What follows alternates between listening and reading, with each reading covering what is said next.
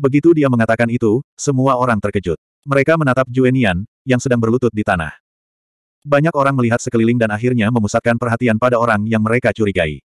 Sekte yang dicurigai oleh kebanyakan orang adalah sekte yang pernah berhubungan baik dengan sekte api karma. Terutama mereka yang pernah berada di pihak yang sama dengan sekte api karma, sekte cahaya segudang, sekte sembilan pedang, dan sekte Guimen. Orang-orang dari tiga sekte segera menjadi tegang. Mereka tidak menyangka akan dicurigai, terutama para ketua sekte dan pemimpin sekte dari ketiga sekte tersebut. Mereka tampak bingung dan bersalah. Ketua sekte dari sekte cahaya segudang, Wang Hong, dengan cepat berkata dengan keras, masalah ini tidak ada hubungannya dengan kami. Kami pasti memutuskan hubungan dengan sekte api karma pada hari kejadian. Kami tidak pernah berhubungan dengan mereka. Lagi.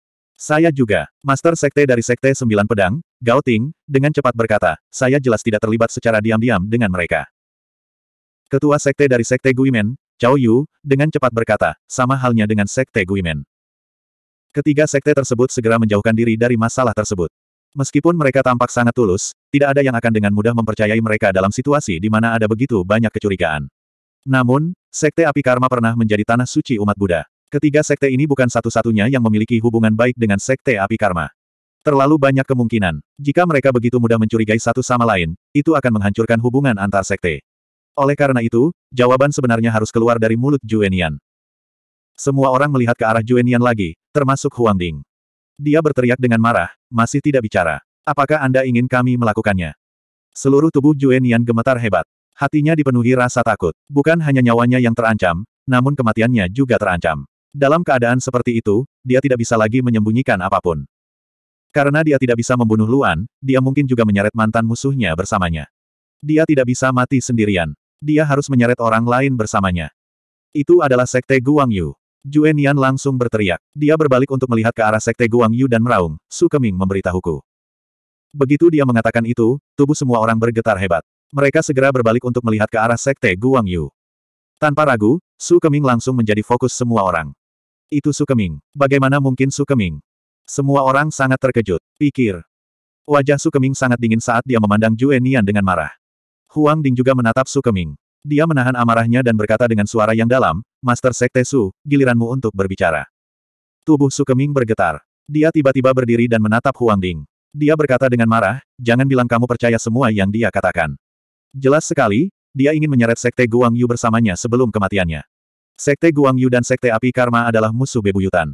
Bagaimana kita bisa berhubungan dengan mereka? Semua orang mengerutkan kening saat mendengar ini. Itu benar. Ini juga merupakan alasan terbesar mengapa mereka meragukan Juenian. Namun, omong kosong. Juenian meraung dan berteriak pada Su Keming, kamu dan aku sama-sama mempunyai orang yang ingin kita bunuh. Informasi buruk apa yang Anda berikan? Jika Anda tidak memberikan informasi yang salah, apakah operasi ini akan gagal? Omong kosong. Su Keming meraung marah dan berkata kepada orang banyak, jangan dengarkan fitnah orang ini. Dia bisa mengatakan siapa pun yang dia inginkan. Mengapa kita tidak membunuhnya saja? Saat berbicara, aura Su Keming tiba-tiba meningkat. Jelas sekali, dia sedang mengerahkan kekuatan di tubuhnya. Ketika Huang Ding merasakan auranya, dia meraung dengan marah, sebelum kita menyelesaikan ini, tidak ada yang bisa menyerangnya. Raungan Huang Ding menghentikan kekuatan di tubuh Su Keming. Dia menarik napas dalam-dalam dan menatap Juenian. Huang Ding melirik Su Keming dan mengalihkan pandangannya kembali ke Juenian. Ia bertanya dengan dingin, Anda mengatakan bahwa Sekte Guang Yu memberitahu Anda informasinya. Bukti apa yang Anda miliki? Mata semua orang membeku. Memang benar, mereka membutuhkan bukti. Mereka tidak bisa menghukum Sekte Guang Yu berdasarkan kata-kata Juenian. Namun dalam proses pertukaran informasi, jika tidak ada surat, akan sulit meninggalkan bukti. Itu juga sulitnya memberikan bukti. Namun, Juen Yan segera berkata dengan lantang, saya memiliki batu dewa tersembunyi. Begitu dia mengatakan itu, tubuh semua orang bergetar hebat. Batu dewa tersembunyi. Batu dewa tersembunyi yang mencatat semuanya. Jika batu dewa tersembunyi mencatat pertukaran tersebut, itu akan menjadi bukti yang tak terbantahkan. Bukti yang tak terbantahkan. Tubuh Sukeming bergetar hebat. Jelas sekali, dia tidak menyangka Juenian memiliki batu dewa tersembunyi. Bahkan bagi sekte, batu dewa tersembunyi adalah barang yang sangat langka. Sebagian besar batu dewa tersembunyi dimonopoli oleh klan Hachiko. Selain itu, batu dewa tersembunyi adalah barang konsumsi. Jika digunakan terlalu lama maka efektivitasnya akan hilang. Su Keming tidak menyangka sekte api karma memiliki batu dewa tersembunyi yang efektif. Dari auman Juenian, sepertinya dia tidak berbohong. Sudah berakhir. Liu Ju, Wakil pemimpin sekte, yang duduk di belakang Su Keming, segera mengambil tindakan. Dia tidak mengambil tindakan di depannya, tapi di belakangnya. Bang! Mantra teleportasi yang berjarak kurang dari 20 kaki dari mereka berdua muncul. Di saat yang sama, ketika semua orang masih terkejut dengan berita tersebut dan tidak dapat bereaksi, mereka berdua segera mundur. Keduanya terlalu cepat dan jarak 20 kaki terlalu pendek. Selain itu, orang-orang di sekitar tidak dapat bereaksi tepat waktu. Mereka tidak bisa menghentikan mereka sama sekali. Bang! Bang! Liu Ju dan Su Keming segera bergegas ke mantra teleportasi dan menghilang dari markas besar aliansi di depan keheranan semua orang. Orang yang bereaksi paling cepat tidak lain adalah Huang Yangcheng. Namun, dia tidak punya waktu untuk bereaksi dan hanya bisa bergegas menuju mantra teleportasi yang masih terbuka. Tidak peduli di mana pihak lain berada, tidak peduli apakah ada jebakan di sisi lain, dia tidak ragu untuk bergegas masuk. Wakil pemimpin Sekte Yin yang ilahi, Chen Kuang, terkejut.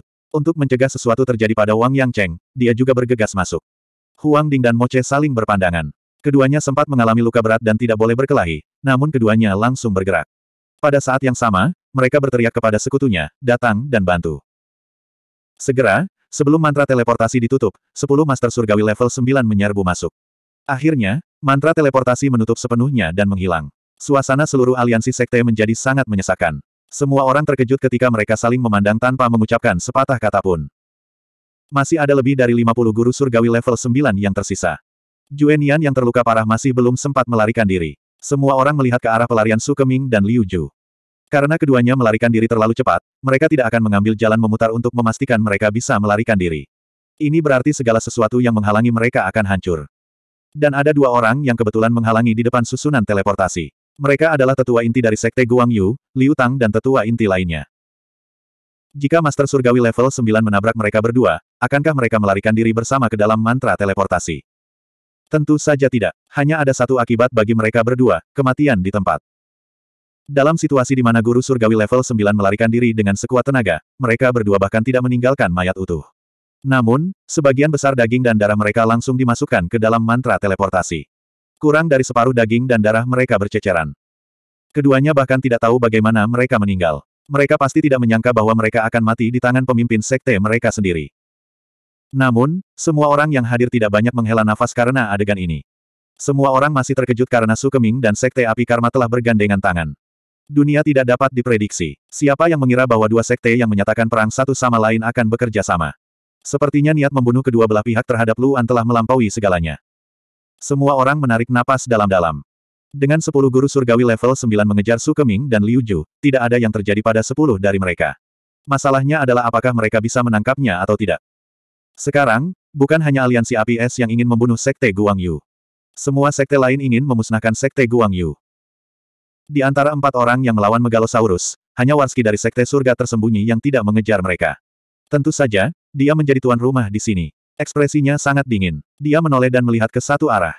Pandangannya tidak tertuju pada orang lain kecuali tiga sekutu Sekte Guang Yu. Sekte Guntur Hitam, Sekte Cahaya Meraj, buka pintunya.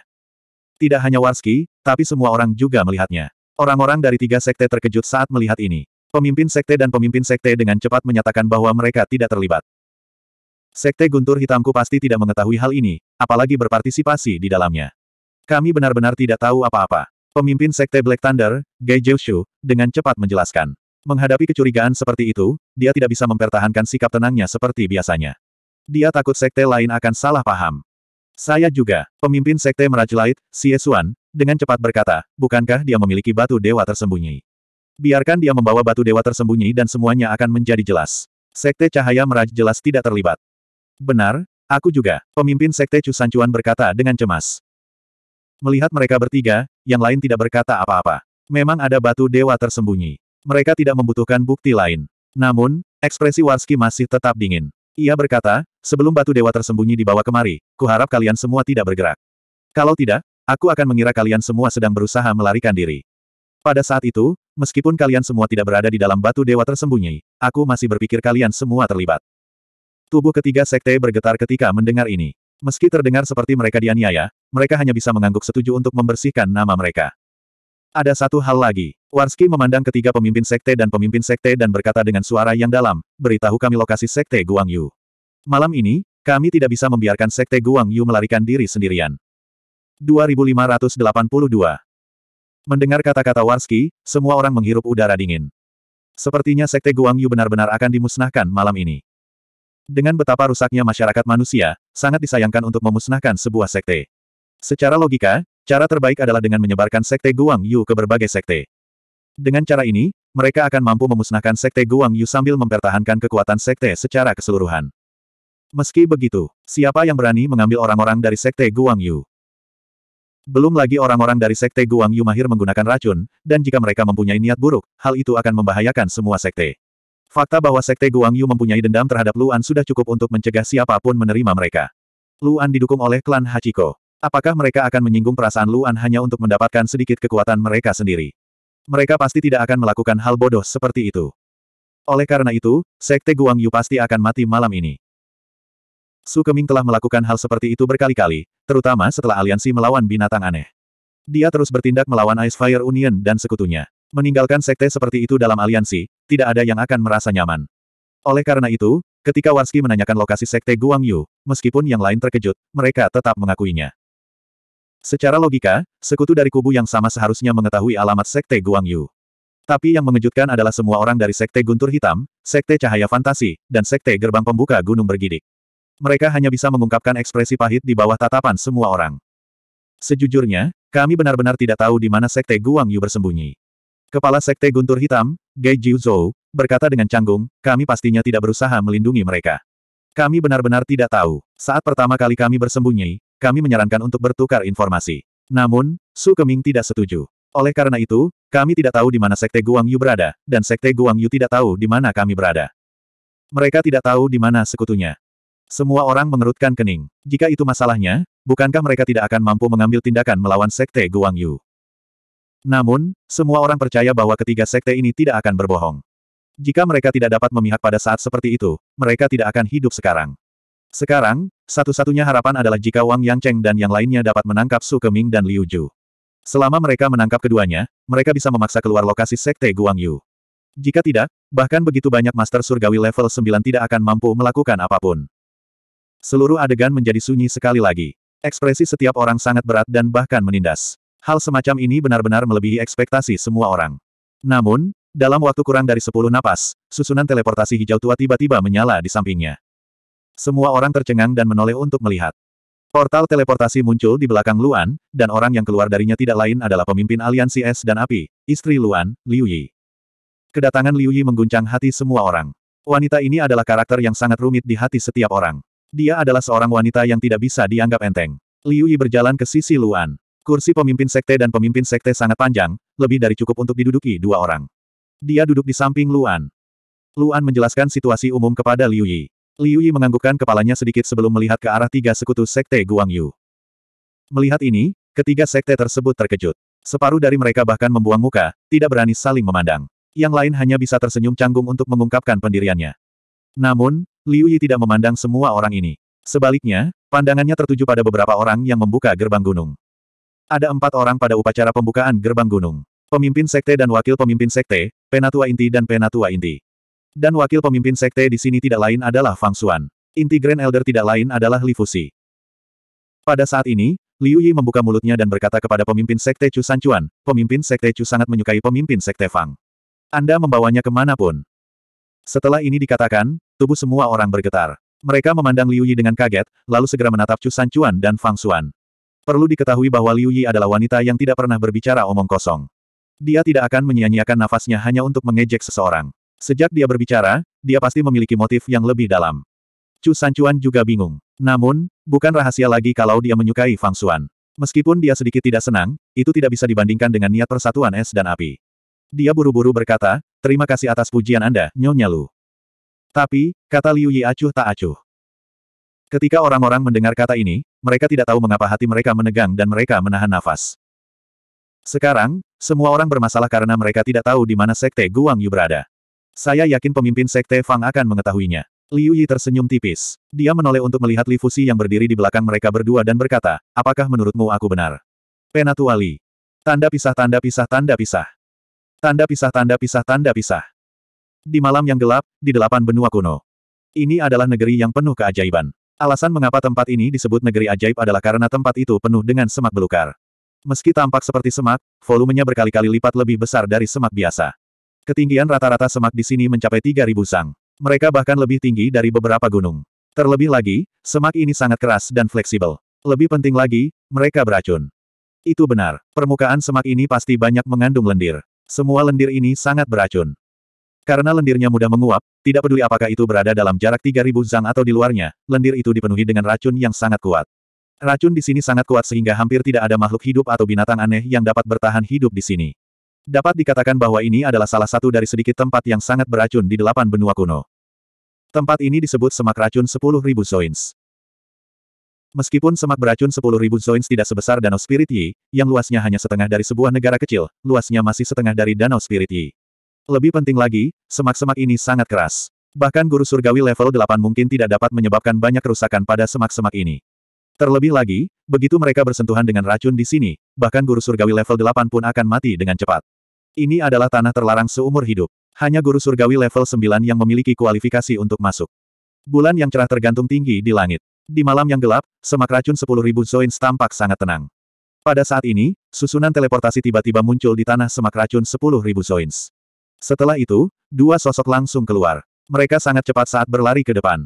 Kekuatan mereka begitu besar sehingga mereka langsung menembus semak-semak di sekitarnya. Gemuruh. Kemunculan kedua sosok itu langsung menghancurkan semak-semak besar saat mereka bergegas maju. Saat mereka berdua bergegas keluar, delapan sosok segera bergegas keluar satu demi satu, dengan liar mengejar mereka berdua. Dua sosok di depan adalah Su Keming dan Liu Ju. Di belakang mereka ada Wang Yangcheng dan yang lainnya. Namun, ketika Wang Yangcheng bergegas keluar dari susunan teleportasi, dia segera menghadapi kesulitan. Karena serangan gila Su Keming dan Liu Ju, serta kekuatan yang mereka lepaskan selama serangan gila tersebut, semak-semak itu meledak satu demi satu. Tidak hanya terdapat lendir yang sangat beracun di permukaan semak-semak ini, bahkan ada lebih banyak lendir di dalam semak-semak tersebut. Jumlah lendirnya sepuluh kali lebih banyak daripada jumlah di permukaan. Itu seperti genangan air yang terbalik saat menghujani sepuluh orang. Meskipun kekerasan semak-semak ini tidak berarti apa-apa di mata guru surgawi tingkat sembilan, kekuatan racunnya cukup untuk membuat guru surgawi tingkat sembilan terpesona. Begitu mereka muncul, mereka dihadapkan pada semak-semak rusak dan racun yang jumlahnya sangat banyak. Segera, hati semua orang bergetar hebat. Segera, sepuluh orang itu sepenuhnya melepaskan kekuatan di tubuh mereka, menggunakan energi asal surgawi atau roda takdir mereka yang kuat untuk membentuk lapisan pelindung besar di sekitar tubuh mereka, menyingkirkan semua cabang dan lendir yang patah. Semak-semak itu mudah ditangani, tetapi racun dan lengketnya lendir di luar imajinasi. Ia justru mampu menempel langsung pada lapisan pelindungnya sehingga sulit lepas. Ia bahkan mampu dengan cepat merusak lapisan pelindung. Lendir ini sangat kuat. Namun, meski begitu, Wang Yangcheng yang memimpin tidak melambat. Tubuhnya dipenuhi api yang berkobar saat dia dengan terburu-buru berlari ke depan. Di bawah kobaran apinya, lendir tidak mampu berbuat banyak. Yang lain juga mengejar sambil menahan racunnya. Namun, segera, masalah lain muncul. Sangat sulit untuk menyebarkan persepsi seseorang dalam kabut beracun ini. Selain lendir dan semak-semak yang rusak, penglihatan mereka juga terhalang sepenuhnya. Dengan kata lain, mereka sama sekali tidak dapat melihat sosok Su Keming dan Liu Ju. Dengan cara ini, mereka hanya bisa menilai arah pelarian pihak lain berdasarkan arah ledakannya. Namun, ini sebenarnya tidak terlalu akurat, karena Su Keming dan Liu Ju dapat dengan sengaja menyerang ke segala arah untuk menyesatkan mereka. Seperti sekarang. Gemuruh. Ledakan keras terdengar dari segala arah. Mereka datang dari arah yang sangat berbeda, menutupi seluruh bagian depan, kiri, dan kanan. Apa yang harus kita lakukan? Wang Yangcheng, yang terbang di depan, langsung menjadi serius. Tidak peduli apa, dia harus menangkap dan membunuh kedua orang ini hari ini. Berpencar dan cari mereka. Wang Yangcheng segera berteriak. Sembilan orang di belakangnya segera gemetar, tetapi mereka segera mengangguk dan berpencar menjadi dua kelompok, mencari ke segala arah. 2583. Sepuluh orang dikejar ke lima arah berbeda. Pada dasarnya, mereka semua berasal dari sekte yang sama. Wang Yangcheng dan Chen Kuang bergerak bersama, mengejar dengan liar di depan. Harus dikatakan bahwa kekuatan racun di Wan Kun Poison Bush berada di luar imajinasi. Bahkan Wang Yangcheng dan Chen Kuang harus berhati-hati. Ditambah fakta bahwa mereka tidak yakin di mana Su Keming dan Chen Kuang berada, mereka harus lebih berhati-hati selama pengejaran. Jika tidak, jika pihak lain bersembunyi di kegelapan dan tiba-tiba menyerang, ditambah dengan lendir beracun di sini, kemungkinan besar mereka akan menderita kerugian besar. Namun, dibandingkan dengan empat kelompok lainnya, Wang Yangcheng dan Chen Kuang jauh lebih berani seolah-olah mereka tidak memiliki kekhawatiran apa pun. Di mata Wang Yangcheng, Su Keming dan Liu Ju tidak berani berhenti dan melakukan serangan balik. Mereka pasti ingin menambah jarak di antara mereka dan menggunakan formasi teleportasi untuk melarikan diri. Meskipun Wang Yangcheng terluka parah dan tidak punya banyak waktu untuk pulih, dia masih memiliki semangat gigih, yang sulit dipelajari orang lain. Wang Yangcheng dan Chen Kuang mengejar sepanjang jalan, tetapi mereka tidak dapat menemukan Su Keming dan Liu Ju. Jika Su Keming dan Liu Ju memiliki arai teleportasi di tempat yang sangat beracun ini, maka itu akan sangat buruk. Su Keming dan Liu Ju dapat membentuk formasi teleportasi di bagian tengah hutan 10.000 racun, atau bahkan di bawah tanah jika terjadi keadaan darurat. Dengan begitu, pihak lain bahkan tidak perlu membangun formasi teleportasi. Memikirkan hal ini, Wang Yangcheng dan Chen Kuang mempercepat, bergegas maju dengan seluruh kekuatan mereka. Namun, mereka benar, Su Keming dan Liu Ju telah membentuk formasi teleportasi di hutan 10.000 racun. Sekte Guang Yu menggunakan racun dan telah membuat banyak musuh selama ribuan tahun terakhir. Hal yang sama terjadi di sekte tersebut. Dengan demikian, pemimpin sekte sebelumnya telah memikirkan cara melindungi diri mereka sendiri. Belukar racun 10.000 alasan adalah tempat terbaik untuk melarikan diri. Sebelum menyerang Luan, Su Keming telah memikirkan segalanya. Terutama kali ini, bahkan jika mereka gagal, dia setidaknya bisa melarikan diri dari Sekte Union. Sekarang delapan benua kuno telah menjadi seperti ini, terlalu sulit untuk menemukannya. Karena para pengejarnya merasa was-was, jarak antara Sukeming dan Liu Ju semakin lebar. Keduanya terus melepaskan teknik surga ke samping dan belakang, menciptakan gelombang-gelombang beracun. Segera, mereka berdua tiba di pusat belukar 10.000 penyebab racun. Namun, formasi teleportasi yang mereka buat tidak ada di sini, melainkan di sisi lain. Mereka berdua terus maju dengan cepat melalui belukar sepuluh ribu penyebab, tetapi pada saat ini, ledakan besar tiba-tiba terdengar dari belakang mereka. Gemuruh. Ledakan dahsyat itu menyebabkan tubuh Su Keming dan Liu Ju bergetar hebat. Setelah itu, cahaya kuning kemerahan turun dari langit, menembus semak setinggi 3000 zang dan menyelimuti keduanya. Itu sangat mempesona. Bagaimana ini bisa terjadi? Su Keming segera menoleh untuk melihat langit di belakangnya. Dia menahan cahaya yang menyilaukan dan melihat ke atas. Api. Api yang mengamuk berkobar di ketinggian setidaknya 80 ribu kaki. Benar, itu adalah Wang Yangcheng dan Chen Kuang. Di belukar racun wanyin ini, dia akan terus-menerus diganggu oleh cairan beracun yang tak ada habisnya dan cabang-cabang yang patah. Namun, karena serangannya yang tiba-tiba, kelembamannya menyebabkan dia terus mengejar musuh di semak-semak. Sebenarnya, hal itu tidak diperlukan. Selama dia terbang keluar dari belukar 10.000 penyebab racun dan mencapai ketinggian, dia akan dapat melihat keseluruhan belukar 10.000 penyebab racun, termasuk situasi di depan.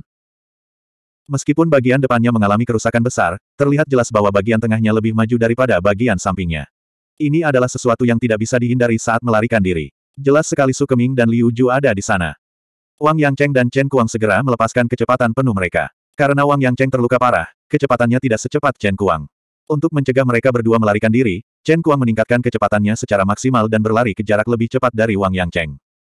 Su Keming dan Liu Ju secara alami memperhatikan hal ini. Namun, Meskipun belukar racun 10.000 penyebab akan mengurangi kecepatan mereka, mereka berdua tidak berniat untuk pergi. Bahkan jika Wang Yangcheng dan Chen Kuang terluka parah, keduanya masih tidak memiliki kepercayaan diri untuk mengalahkan mereka. Terlebih lagi, begitu mereka ditembaki, yang lain akan segera menyerbu, membuat mereka semakin sulit untuk melarikan diri.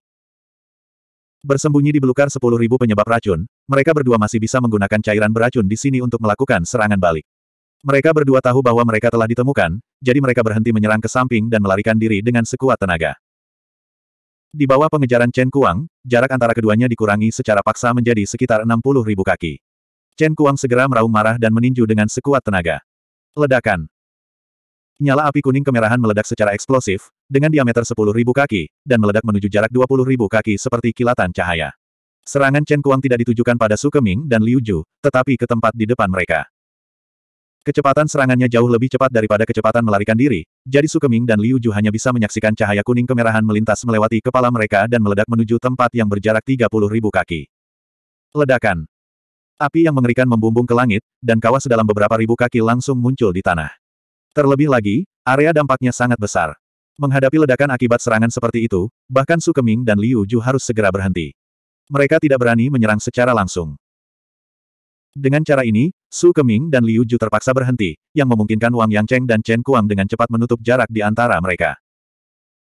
Tidak hanya keduanya, delapan orang lainnya juga mengikuti mereka keluar dari belukar sepuluh ribu penyebab racun dan bergegas menuju mereka dengan kecepatan penuh.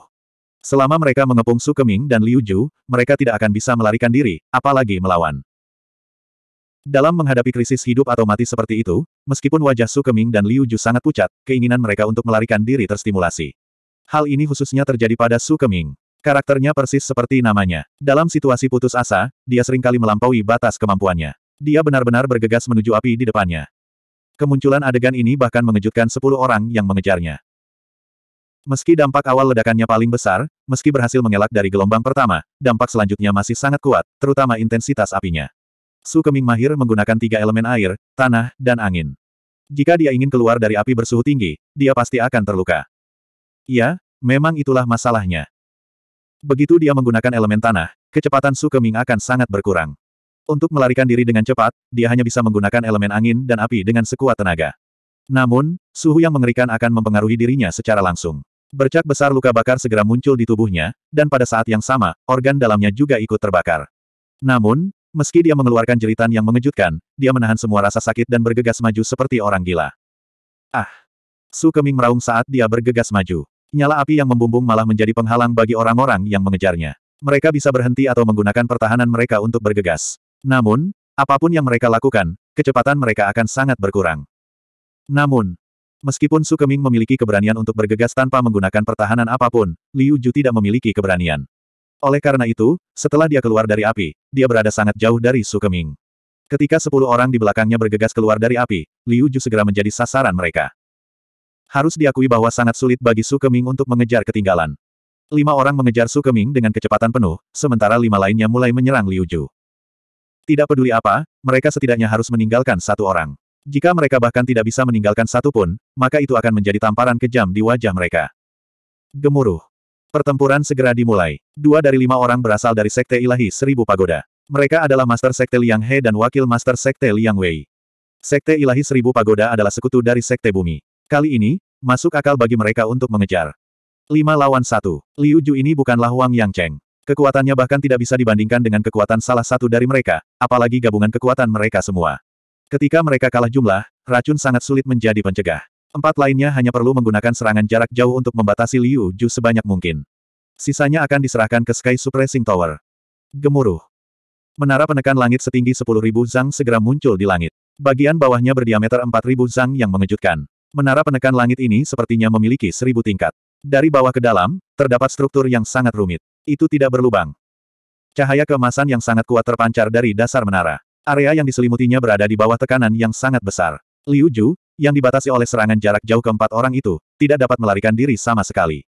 Dia hanya bisa menyaksikan menara penekan langit setinggi sepuluh ribu zang turun dari langit. Tidak. Liu Ju dengan marah meraung. Namun, dia tidak bisa menghentikan menara penekan langit agar tidak turun. Itu langsung menyelimuti dirinya. Gemuruh. Bagian bawah menara penekan langit langsung membentuk penghalang emas yang tertutup sepenuhnya, menjebak Liu Ju di dalamnya. Di dalam pagoda penekan surga, racun sama sekali tidak berguna. 2584. Delapan benua kuno, markas besar aliansi. Suasana yang menindas sepertinya telah membekukan ruangan. Semua orang memandang Liu Yi dengan kaget sebelum berbalik untuk melihat Fang Xuan dan Li Fuxi. Mereka tidak tahu apa yang dibicarakan Liu Yi. Mungkinkah kedua orang ini juga ada hubungannya dengan masalah ini? Tubuh Li Fuxi bergetar. Dia tidak menyangka akan ada hubungannya dengan masalah ini. Dia memang telah menghubungi Su Yunyan berkali-kali secara rahasia. Namun, operasi ini bukan ulahnya. Dia juga tidak memiliki kekuatan untuk membuat naga dan binatang kelas satu bekerja untuknya. Selama ini, komunikasi antara Ye Fire Sect dan dia sederhana saja. Mereka ingin dia memancing Luan keluar. Mereka tidak pernah memberitahunya tentang kerjasama antara Sekte Api Ye dan Sekte Guang Yu. Oleh karena itu, ketika dia mendengar bahwa Juenian berkolaborasi dengan Sekte Guang Yu, dia sangat terkejut. Dia selalu berpikir bahwa dia bekerja sama dengan Sekte Api Neraka untuk menangani Sekte Guang Yu dan Aliansi Api Es. Dia berpikir bahwa dialah yang mengendalikan segalanya, tetapi dia tidak pernah berpikir bahwa dialah yang dimanipulasi. Dia tidak akan pernah memberitahu Sekte Guang Yu tentang masalah ini. Oleh karena itu, jelas sekali bahwa Sekte Guang Yu tidak mengetahui masalah ini. Dalang sebenarnya adalah Ye Fire Sect. Ye Fire Sect jelas ingin memakan keduanya dan membunuh Guang Yu Sect dan Ice Fire Union. Setelah dia memikirkannya dengan matang, dia menjadi sangat gelisah. Namun, ketika sepuluh dari mereka mengejar Su Keming, dia mengira dia telah lolos dari kematian. Selama Juenian tidak mengatakan apa pun, dia akan mampu bertahan. Namun, dia tidak menyangka Liu Yi akan datang. Dia juga tidak menyangka Liu Yi akan menyebutkan masalah ini. Wajahnya langsung menjadi pucat. Tidak peduli seberapa besar keinginannya untuk mengendalikan emosinya, dia tidak dapat melakukannya. Sebaliknya, Fang Xuan sangat tenang. Dia berbalik untuk melihat Li Fuxi dan kemudian Liu Yi. Ekspresinya tidak berubah. Nyonya Lu, apa maksudmu? Fang Xuan memandang Liu Yi dan berbicara. Nada suaranya tenang dan anggun saat dia berkata, mengapa aku tahu lokasi Sekte Guang Yu? Penatu Wali memberitahuku. Liu Yi tersenyum dan berkata, kamu harus bertanya padanya. Begitu kata-kata ini keluar, hati semua orang gemetar saat mereka melihat Li Fuxi dengan kaget. Tidak peduli apa pun, Li Fusi adalah penatua upacara pembukaan sekte.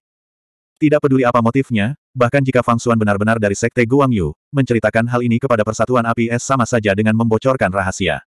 Ini adalah masalah yang sangat serius. Wajah Li Fusi menjadi semakin pucat, tapi bisa mencapai posisinya saat ini berarti dia jelas tidak bodoh. Faktanya, dia sangat cerdik. Dia tahu bahwa mustahil untuk menyangkal segalanya sekarang. Satu-satunya cara adalah menstabilkan posisinya. Selama dia dengan tegas menyatakan bahwa dia melakukan ini demi kebaikan sekte, bahkan jika dia dihukum, itu pasti akan lebih ringan. Li Fusi segera berdiri dan berjalan menuju Chu Sanchuan. Wajah Chu Sanchuan dipenuhi amarah saat dia menatap Li Fusi. Li Fusi merasa gugup tetapi dia hanya bisa menguatkan dirinya dan berkata dengan keras, Kepala Sekte, saya memang telah berbicara dengan penatua Persatuan Api Es Su Yunyan tentang masalah ini. Kepala Sekte Fang memang berasal dari Sekte Guang Yu. Saya menemukan bukti di kamarnya, tetapi Sekte Master tidak mendengarkan saya sama sekali. Saya memohon agar guru Sekte menggunakan kesempatan ini untuk membasmi mata-mata Sekte Guang Yu. Setiap kata Li Fusi tegas dan nadanya cukup untuk menggerakkan orang. Hal ini menyebabkan banyak orang yang hadir berubah pikiran. Setiap orang kurang lebih telah mendengar tentang hubungan antara Chu Sanchuan dan Fang Xuan. Chu Sanchuan mungkin tahu tentang masalah ini tetapi sengaja tidak mempercayainya. Namun, setelah Li Fusi menanyainya di depan semua orang, emosi Fang Xuan tetap stabil. Dia tidak bereaksi berlebihan sama sekali. Dia menatap Li Fusi dan berkata, kamu bilang kamu punya bukti. Di mana itu? Ini, hati Li Fusi menegang. Dia mengertakkan gigi dan berkata, ada kompartemen rahasia di kamarmu. Ada sebuah buku di kompartemen rahasia. Tapi, buku itu terbakar dengan sangat cepat ketika dikeluarkan. Semua orang mendengar ini dan hati mereka menegang. Fang Xuan memandang Li Fusi dan berkata dengan suara serius, jadi tidak ada bukti. Ini, Li Fusi mengertakkan giginya lebih keras dan segera berkata, meskipun tidak ada buku, kompartemen rahasianya masih ada. Jika tidak menyembunyikan sesuatu yang tidak dapat dilihat, mengapa kamu menggunakan kompartemen rahasia? Apa hubungannya denganmu untuk apa aku menggunakan kompartemen rahasia itu? Fang Xuan berkata, Anda tidak punya bukti tetapi Anda memfitnah saya di sini. Anda mencoba memfitnah saya. Apa niat Anda dan dari siapa Anda menerima perintah? Suara Fang Xuan jelas menjadi lebih berat, dan matanya menjadi tajam. Penatua pertama berani mempertanyakan pemimpin sekte di depan semua sekte, tetapi dia tidak dapat memberikan bukti apa pun. Jika itu benar-benar fitnah, Fang Xuan akan sangat marah dan bahkan mungkin membunuh Li Fusi. Li Fusi terdiam. Dia memandang Fang Xuan dan Chu Sanchuan dengan panik. Chu Sanchuan mengerutkan kening dan menatap Li Fusi. Bahkan ada niat membunuh yang jelas terlihat. Tapi saat ini, Liu Yi tiba-tiba berbicara. Ada sesuatu yang ingin aku tanyakan pada pemimpin Sekte Fang. Suara Liu Yi sangat tenang. Meskipun situasinya tidak menguntungkan baginya, tidak ada perubahan. Ketika semua orang mendengar ini, mereka segera mengalihkan pandangan ke Liu Yi. Fang Xuan juga memandangnya. Dia menarik napas ringan dan bertanya, ada apa? Sederhana sekali, Liu Yi tersenyum dan berkata, saya ingin tahu, apakah pemimpin Sekte Fang pernah mengorbankan rasa ilahinya kepada orang lain. Begitu kata-kata ini keluar, semua orang yang hadir terkejut. Semua orang memandang Liu Yi, tertegun. Mereka tidak pernah mengira Liu Yi akan mengatakan hal seperti itu. Belum lagi yang lain, bahkan Luan, yang duduk di sebelah Liu Yi, juga sama. Dia tahu bahwa Liu Yi pernah berkata bahwa dia curiga Fang Xuan mengorbankan rasa ilahinya kepada Suke, tetapi dia tidak menyangka bahwa dia akan mengatakannya di depan umum. Jika dia tidak yakin tentang masalah ini, itu akan sangat menyinggung. Alis Fang Xuan jelas menegang. Dia memandang Liu Yi dan bertanya dengan dingin, apa maksudmu? Arti harfiahnya sangat sederhana dan tidak sulit untuk dipahami. Liu Yi berkata sambil tersenyum, jika pemimpin Sekte Fang telah mengorbankan rasa ilahinya kepada orang lain, saya ingin tahu siapa orang ini. Jika pemimpin Sekte Fang tidak mengorbankan rasa ilahinya kepada orang lain, saya akan meminta maaf kepada pemimpin Sekte Fang. Namun, jika pemimpin Sekte Fang telah mengorbankan rasa ilahinya kepada orang lain dan kemudian berbohong, akan sulit untuk menghilangkan kecurigaan tersebut. Semua orang menghirup udara dingin dan menahan napas saat menyaksikan adegan ini. Setelah Liu Yi selesai berbicara, semua orang melihat ke arah Fang Xuan. Tidak sulit menjelaskan masalah ini dengan jelas. Jika Fang Xuan tidak mau mengatakan hal seperti itu dan tetap diam, itu sudah cukup untuk menunjukkan bahwa ada masalah yang sangat besar. Semua orang memandang Fang Xuan, menunggu jawaban Fang Xuan. Jawaban ini tidak sulit untuk diucapkan. Siapa pun di tempat kejadian dapat langsung mengatakannya. Fang Xuan tidak ragu-ragu. Setelah dua tarikan napas, dia berkata, saya belum mengorbankan rasa ilahi saya kepada siapa pun. Apakah Anda puas? Tidak puas, kata Liu Yi. Begitu dia mengatakan ini, lebih dari seratus orang yang hadir tersentak lagi dan melihat pemandangan ini dengan kaget. Nyonya Lu, apa maksudmu? Fang Xuan mengerutkan kening dan bertanya dengan dingin. Tidak ada, aku hanya tidak percaya. Liu Yi berkata sambil tersenyum, jadi saya ingin meminta pemimpin Sekte Fang untuk bekerja sama dalam percobaan untuk menguji apakah Anda telah mengorbankan rasa ilahi Anda kepada orang lain. Percobaan. Chu Sanchuan terkejut saat mendengar ini. Bahkan aliansi api es pun tidak bisa begitu sombong. Hanya satu kalimat saja yang bisa membuat guru surgawi tingkat sembilan melakukan hal seperti itu. Chu Sanchuan segera berteriak dengan marah pada Liu Yi, pemimpin Liu, jangan melangkah terlalu jauh. Liu Yi menoleh untuk melihat Chu Sanchuan. Dia tidak marah dengan reaksi Chu Sanchuan. Sebaliknya, dia berkata dengan tenang, pemimpin Sekte Chu, tidakkah kamu ingin mengetahuinya? Apakah kamu tidak khawatir bahwa orang yang tidur di sebelahmu sebenarnya adalah orang lain? Ini seperti pisau yang tertidur di sampingmu, yang bisa membunuhmu kapan saja. Tepat ketika Chu Sanchuan hendak mengaum lagi, Liu Yi tidak memberinya kesempatan dan melanjutkan, jika kita benar-benar menyalahkan pemimpin Sekte Fang pada akhirnya, aliansi APS bersedia memberikan dua formasi kepada pemimpin Sekte Chu sebagai kompensasi. Sekte pemimpin Chu, bukankah kamu ingin formasi di sekitar kota APS? Chu Sanchuan terkejut saat mendengar ini dan mengerutkan kening. Memang benar, dia sangat iri dengan formasi yang menutupi kota APS. Dikatakan bahwa kecuali empat sekutu aliansi APS, bahkan aliansi Yin yang tidak mendapatkan formasi ini. Jika dia bisa mendapatkannya, dia akan hidup lebih aman di dunia yang bermasalah ini. Bagaimana menurutmu? Liu Yi berkata, kamu bisa mengetahui identitas orang yang tidur di sebelahmu dan mendapatkan formasinya. Pemimpin Sekte Chu, kamu tidak akan kehilangan apa pun. Hati Chu Sanchuan menegang saat mendengar ini. Dia menemukan bahwa semua orang sedang menatapnya. Liu Yi mengucapkan kata-kata yang tulus. Jika dia tidak setuju, sepertinya ada yang salah dengan Fang Xuan. Setelah mempertimbangkan pro dan kontra, Chu Sanchuan memandang Fang Xuan di sampingnya dan bertanya, Xuan. Bagaimana menurutmu? 2585. Mendengar pertanyaan Chu Sanchuan, Fang Xuan menoleh padanya dengan mata dingin. Melihat mata Fang Xuan, tubuh Chu Sanchuan langsung bergetar, dan hatinya penuh rasa bersalah. Dia tidak pernah rela membiarkan Fang Xuan melakukan apa pun. Dia pada dasarnya tidak ada hubungannya dengan sekte tersebut, jadi dia bisa melakukan apa pun yang dia inginkan. Chu Sanchuan telah memanjakan Fang Xuan, tetapi dia juga terbiasa memanjakan Fang Xuan. Jadi ketika dia melihat mata Fang Xuan, dia merasa sangat tidak nyaman dan bahkan tidak berani menatap mata Fang Xuan. Pengorbanan rasa spiritual adalah pengorbanan tipe tuan budak yang paling sombong. Itu benar-benar tidak bisa diubah. Seseorang hanya bisa mengorbankan rasa spiritual sekali dalam hidupnya. Bahkan jika orang yang mengorbankan rasa spiritualnya mati, hal itu tidak dapat diubah. Dan cara pengorbanan yang sombong seperti itu juga memberikan keuntungan yang sangat besar bagi orang yang berkorban, yaitu mereka tidak akan pernah diganggu oleh ilusi dan serangan sens spiritual yang mempengaruhi penilaian mereka. Sederhananya, setelah indera spiritual dikorbankan, indera spiritual akan menjadi sangat kuat dan tidak akan terguncang. Karena fitur inilah cara paling sederhana untuk menguji apakah seseorang telah mengorbankan indera spiritual adalah dengan melihat apakah orang tersebut akan terpengaruh oleh ilusi. Metode pengujiannya sangat sederhana. Berikan saja ilusi yang sangat sederhana pada Fang Xuan. Fang Xuan sendiri tidak perlu melakukan pertahanan apa pun. Dia hanya perlu membuka lautan kesadarannya dan membiarkan dirinya memasuki ilusi, dan membiarkan dia mengatakan seperti apa pemandangan dalam ilusi itu. Selama dia bisa mengatakannya, itu membuktikan bahwa dia tidak pernah mengorbankan sens spiritual kepada siapa pun. Dia tidak akan terluka selama percobaan, dan dia bahkan tidak perlu berdiri. Tentu saja, satu-satunya kelemahannya adalah ujian tersebut dapat merusak harga dirinya, dan itulah satu-satunya alasan. Namun kondisi Liu Yi sangat menggoda dan tulus, sehingga aspek ini bisa diabaikan. Namun, Fang Xuan tidak mengangguk. Fang Xuan memandang Chu Sanchuan dengan mata tegas. Setelah beberapa detik, dia berkata-kata demi kata, saya tidak akan melakukan hal seperti ini. Begitu kata-kata ini keluar, semua orang yang hadir menarik napas dalam-dalam, dan hati mereka segera menjadi bermartabat. Meskipun mereka tidak melakukan percobaan, dan hati mereka tidak yakin, tidak ada keraguan bahwa mereka memiliki keraguan di dalam hati mereka. Apalagi saat mereka bertiga beraksi bersama di Danau Lingi sebelumnya, semua orang mengerutkan kening. Mendengar kata-kata Fang Xuan, tubuh Chu Sanchuan jelas terkejut. Meskipun dia biasanya memanjakan Fang Xuan, Fang Xuan selalu mendengarkannya dan jarang menolaknya. Sekarang, karena masalah ini, dia menolaknya di depan banyak orang. Dia mengubah temperamen anggunnya yang biasa dan menjadi begitu tegas dan dingin. Bahkan hati Chu Sanchuan pun tenggelam. Dia merasa bahwa, Fang Xuan sepertinya telah berubah menjadi orang lain. Di sampingnya, Liu Yi tidak mengatakan apa-apa ketika dia melihat adegan ini, karena dia tahu seseorang akan berbicara untuknya. Master Sekte, mohon mengerti. Mata Li Fusi tiba-tiba berbinar, seolah-olah dia tiba-tiba merasa cukup percaya diri dan berkata dengan penuh semangat, pasti ada yang salah dengannya. Saya melakukan ini demi kebaikan Sekte, mohon pertimbangkan kembali. Kata-kata Li Fusi terngiang-ngiang di telinganya, membuat alis Chu Sanchuan semakin menegang. Bahkan tinjunya perlahan mengepal. Dia tidak marah pada Li Fusi, dia juga tidak marah pada Fang Xuan. Sebaliknya, dia merasa marah. Matanya berangsur-angsur menjadi merah saat dia melihat Fang Xuan.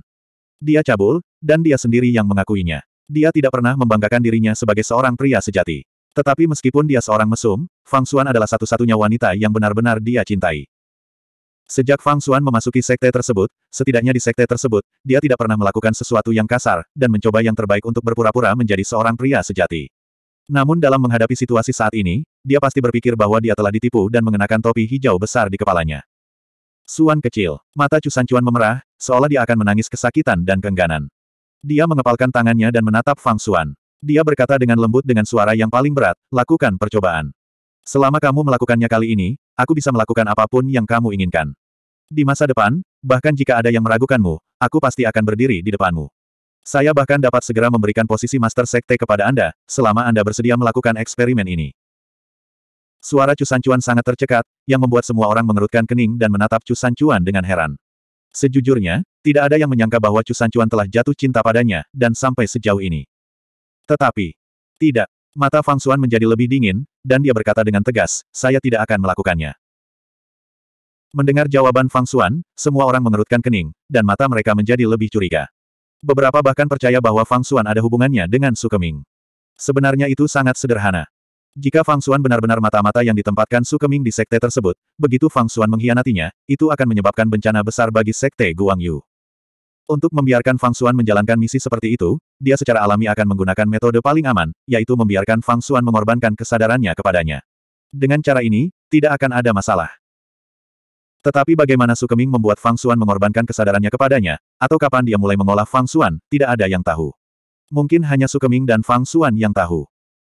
Tetapi masalahnya sekarang adalah selama Fang Xuan tidak melakukan eksperimen tersebut, tidak ada seorang pun yang memiliki bukti. Mereka tidak dapat memaksa Fang Xuan melakukan eksperimen karena kecurigaan, dan bahkan jika mereka melakukannya, mereka memerlukan kerja sama Fang Xuan. Selama Fang Xuan tidak bekerja sama, tidak ada yang bisa melakukan apa pun. Tanpa cara untuk melakukan percobaan, tidak ada cara untuk menemukan bukti untuk menghukumnya, dan tidak ada yang bisa dilakukan terhadap Fang Xuan. Itu adalah kebenarannya, namun keadilan sudah ada di hati kebanyakan orang. Bahkan jika mereka tidak melakukannya, Liu Yi akan mencapai tujuannya. Sedangkan untuk membuat Fang Xuan mengungkapkan lokasi Sekte Guang Yu, itu tidak mungkin. Seseorang yang mengorbankan kesadarannya tidak akan mengkhianati tuannya. Bahkan jika dia membunuh Fang Xuan, dia tidak akan bisa mengetahuinya.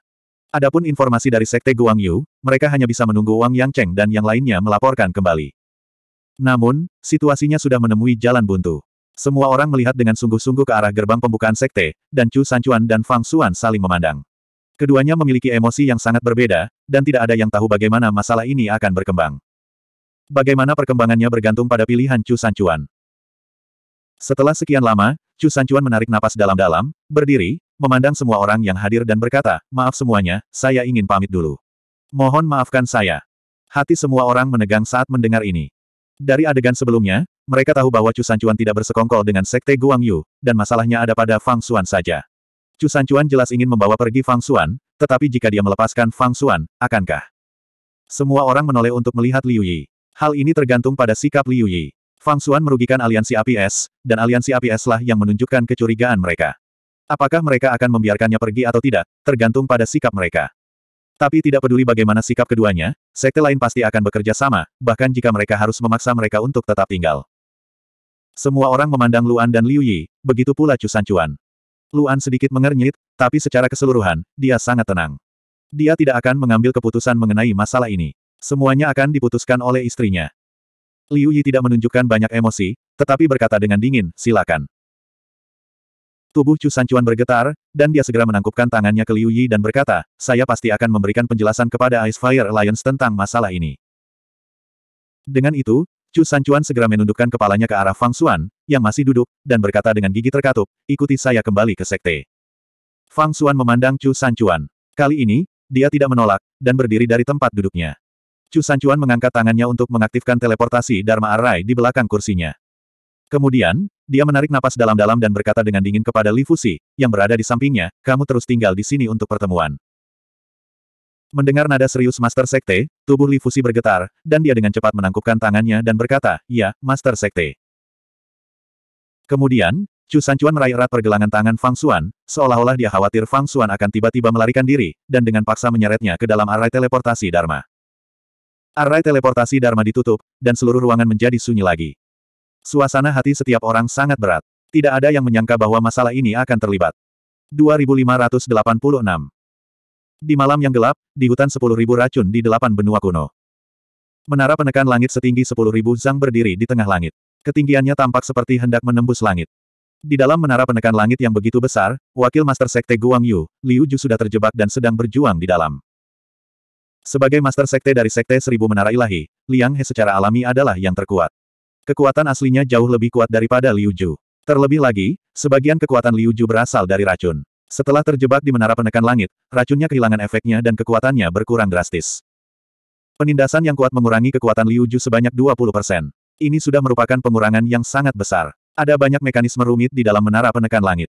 Mekanisme ini dapat membentuk mekanisme pembunuhan yang lebih besar atau ruang yang lebih kecil. Ada perubahan yang tak ada habisnya dan sangat sulit menemukan pola di dalamnya. Setelah terjebak di menara penekan langit, hal pertama yang dilakukan Liu Ju adalah menggunakan teknik langitnya untuk menyerang bagian bawah. Namun, teknik surga yang dia tahu tidak beracun. Selain itu, dia adalah master surga dengan atribut ganda air dan bumi. Kekuatannya tidak terlalu besar, bahkan jika dia mencapai titik terendah 40 ribu zang, dia tidak dapat membukanya. Dia hanya bisa membuat penyok. Selanjutnya, setelah menyerang satu kali, mekanisme di dalam menara mulai beroperasi. Ini adalah satu-satunya kesempatan Liu Ju untuk menggunakan teknik langitnya. Dia tidak akan mempunyai kesempatan lagi setelah itu. Banyak sekali mekanisme yang menyerang Liu Ju. Mereka bahkan lebih terkonsentrasi daripada badai. Mereka tidak memberi Liu Ju kesempatan untuk bernapas, apalagi menggunakan teknik surganya. Permukaan yang tak terhitung jumlahnya melonjak menuju Liu Ju. Jika Liu Ju tidak segera menghindar, permukaan ini akan menghalangi keenam rute pelarian Liu Ju. Kemudian, mereka akan menumpuk satu sama lain. Saat itu, dia akan terjebak dan tidak bisa melarikan diri hingga mati. Bahkan jika Liu Ju tidak mengetahui konsekuensinya, dia tidak bisa membiarkan permukaan ini menjebaknya. Makanya, dia hanya bisa terus berlari. Saat berlari, dia harus menghadapi rintangan dan serangan yang tak terhitung jumlahnya. Penghalang dan serangan ini begitu rumit hingga mempesona. Mereka membutuhkan konsentrasi dan kecepatan reaksi yang sangat kuat. Ini sangat kuat hingga melampaui batas kemampuan manusia. Itu tidak mungkin dicapai, terutama ketika tingkat kultivasi seseorang semakin tinggi. Semua orang akan lebih memperhatikan serangan jarak jauh. Bahkan jika mereka terlibat dalam serangan jarak dekat, itu bukanlah pertarungan jarak dekat yang sebenarnya. Sebaliknya, mereka akan menggunakan teknik surgawi jarak dekat atau teknik rahasia untuk bertarung satu sama lain. Oleh karena itu, mustahil bagi Liu Ju untuk menghindari serangan yang begitu menakutkan dan rumit. Sebelum dia bisa menghindari lebih dari sepuluh rintangan, dia melihat pilar logam dengan diameter kurang dari satu inci mendatanginya. Itu sangat tidak mencolok di antara permukaan logam yang mempesona di segala arah. Liu Ju tidak menyadarinya sebelumnya, dan pada saat dia menyadarinya, sudah terlambat baginya untuk menghindarinya, entah itu waktu atau teknik gerakannya. Bang! Sinar logam itu menghantam perut Liu Ju. Meskipun dia telah menggunakan tangannya untuk memblokirnya, kekuatan balok dan kekerasan balok logam menyebabkan dia mengerang. Lengan bawahnya mati rasa dan dia hampir kehilangan perasaan. Setelah tabrakan, seluruh tubuhnya terhenti. Berhenti berarti permukaan logam yang tak terhitung jumlahnya di belakang Liu Ju akan segera menyusul dan menumpuk satu sama lain saat mereka melonjak ke segala arah di sekitarnya. Melihat ini, mata Liu Ju hampir keluar dari rongganya. Keinginannya yang kuat untuk hidup membuatnya terbang ke atas. Dia dengan paksa mengangkat lengannya yang mati rasa dan mendorong ke atas, membuka celah di atas kepalanya. Namun, itu saja. Kekuatannya sebenarnya tidak mampu membuat kedua belah pihak terbang sekaligus. Sebaliknya, itu diblokir. Lengannya tidak bisa mengerahkan seluruh kekuatannya, tapi jika dia tidak bisa bergegas keluar dalam sekejap, itu berarti dia tidak akan punya kesempatan lagi. Bang, bang, bang. Segera, permukaan logam yang tak terhitung jumlahnya menghantam ke enam sisi kubus. Tentu saja, ada juga permukaan logam yang tak terhitung jumlahnya yang menghantam kedua sisi di atas kepalanya. Saat dampak dan penumpukan permukaan logam meningkat, jelas bahwa kekuatan Liu Ju tidak cukup untuk menahannya. Bahkan jika dia secara paksa menghilangkan rasa kebas di lengannya, tumpukan permukaan logam sudah cukup. Bahkan mencapai 300 meter, dan dia hanya berada di dasar jurang ini. Tidak peduli bagaimana dia mendorong, itu hanya akan menjadi semakin sempit. Tidak. Liu Ju mengertakkan gigi dan meraung, menciptakan gema besar di seluruh menara penekan surga. Dia menggunakan seluruh kekuatan di tubuhnya, begitu cemas hingga matanya menjadi merah seolah-olah berdarah. Namun, dia tidak bisa menghentikan apa yang terjadi di depannya. Akhirnya, setelah lengan Liu Ju bergetar hebat, mereka tidak dapat menahan tekanan yang semakin meningkat. Iman adalah kekuatan yang tidak bisa diubah. Pada akhirnya, kedua sisi di atas kepalanya tenggelam dan tertutup sepenuhnya. Ledakan. Suara keras terdengar, saat Liu Ju terjatuh ke dalam ruang berbentuk kubus yang panjangnya hanya sepuluh kaki. Hanya ada cahaya keemasan di sini. Tidak peduli berapa banyak kekuatan yang dia gunakan untuk menyerang setiap permukaan, bahkan jika dia dapat memecahkan permukaan tersebut, mustahil untuk menembus permukaan logam yang tak terhitung jumlahnya yang panjangnya lebih dari 300 meter. Sebaliknya, dia hanya bisa menahan kelelahan dan dampak dari serangannya yang terus-menerus, menyebabkan dia menjadi semakin lemah. Dia tidak bisa terus seperti ini. Liu Ju terengah-engah dan mengertakkan gigi untuk menenangkan dirinya. Jika dia ingin keluar dari sini, dia harus menembus semua permukaan logam sekaligus. Tidak mungkin menembus permukaan logam satu per satu. Karena itu, ia memutuskan untuk beristirahat di sini dan membiarkan kekuatannya pulih sepenuhnya. Lalu, dia akan mencoba keluar dari sini dengan seluruh kekuatannya. Ide Liu Ju benar. Dia segera menstabilkan tubuh dan pikirannya serta menutup matanya untuk memulihkan kekuatannya. Namun, idenya benar, tapi dia meremehkan menara penekan surga. Akankah menara penekan surga membuat orang-orang beristirahat dengan tenang di dalam? Apakah mereka benar-benar memperlakukan menara penekan surga seperti restoran? Segera, permukaan logam yang tak terhitung jumlahnya yang panjangnya lebih dari 300 meter bergetar hebat. Semua permukaan sepertinya menyatu menjadi satu, menggabungkan kekuatan semua permukaan dengan kekuatan penekan. Ia bahkan menyerap sebagian besar kekuatan menara penekan surga dan melepaskannya ke tengah. Bas. Ledakan. Liu Ju bahkan tidak punya waktu untuk bereaksi. Ketika dia mendengar suara mendengung yang menembus gendang telinganya dan mengguncang laut pengetahuannya, kekuatan mengerikan dan kekuatan penekan telah meledak dari keenam sisi tubuhnya, disertai dengan cahaya kemasan menyilaukan yang mengalir ke tubuhnya. Tanpa pertahanan apa pun, dia tidak bisa menahan kekuatan penuh serangan internal menara penekan surga. Uh! Liu Ju segera mengeluarkan seteguk darah. Ia merasa tubuhnya seperti dipukul dan diremas dari segala sudut. Seluruh tubuhnya berlumuran darah. Dia bahkan kehilangan seluruh perasaan di tubuhnya. Hanya kesadarannya yang masih samar-samar. Tapi ini bukanlah akhir. Ini baru pertama kalinya. Akan ada yang kedua kalinya, yang ketiga kalinya.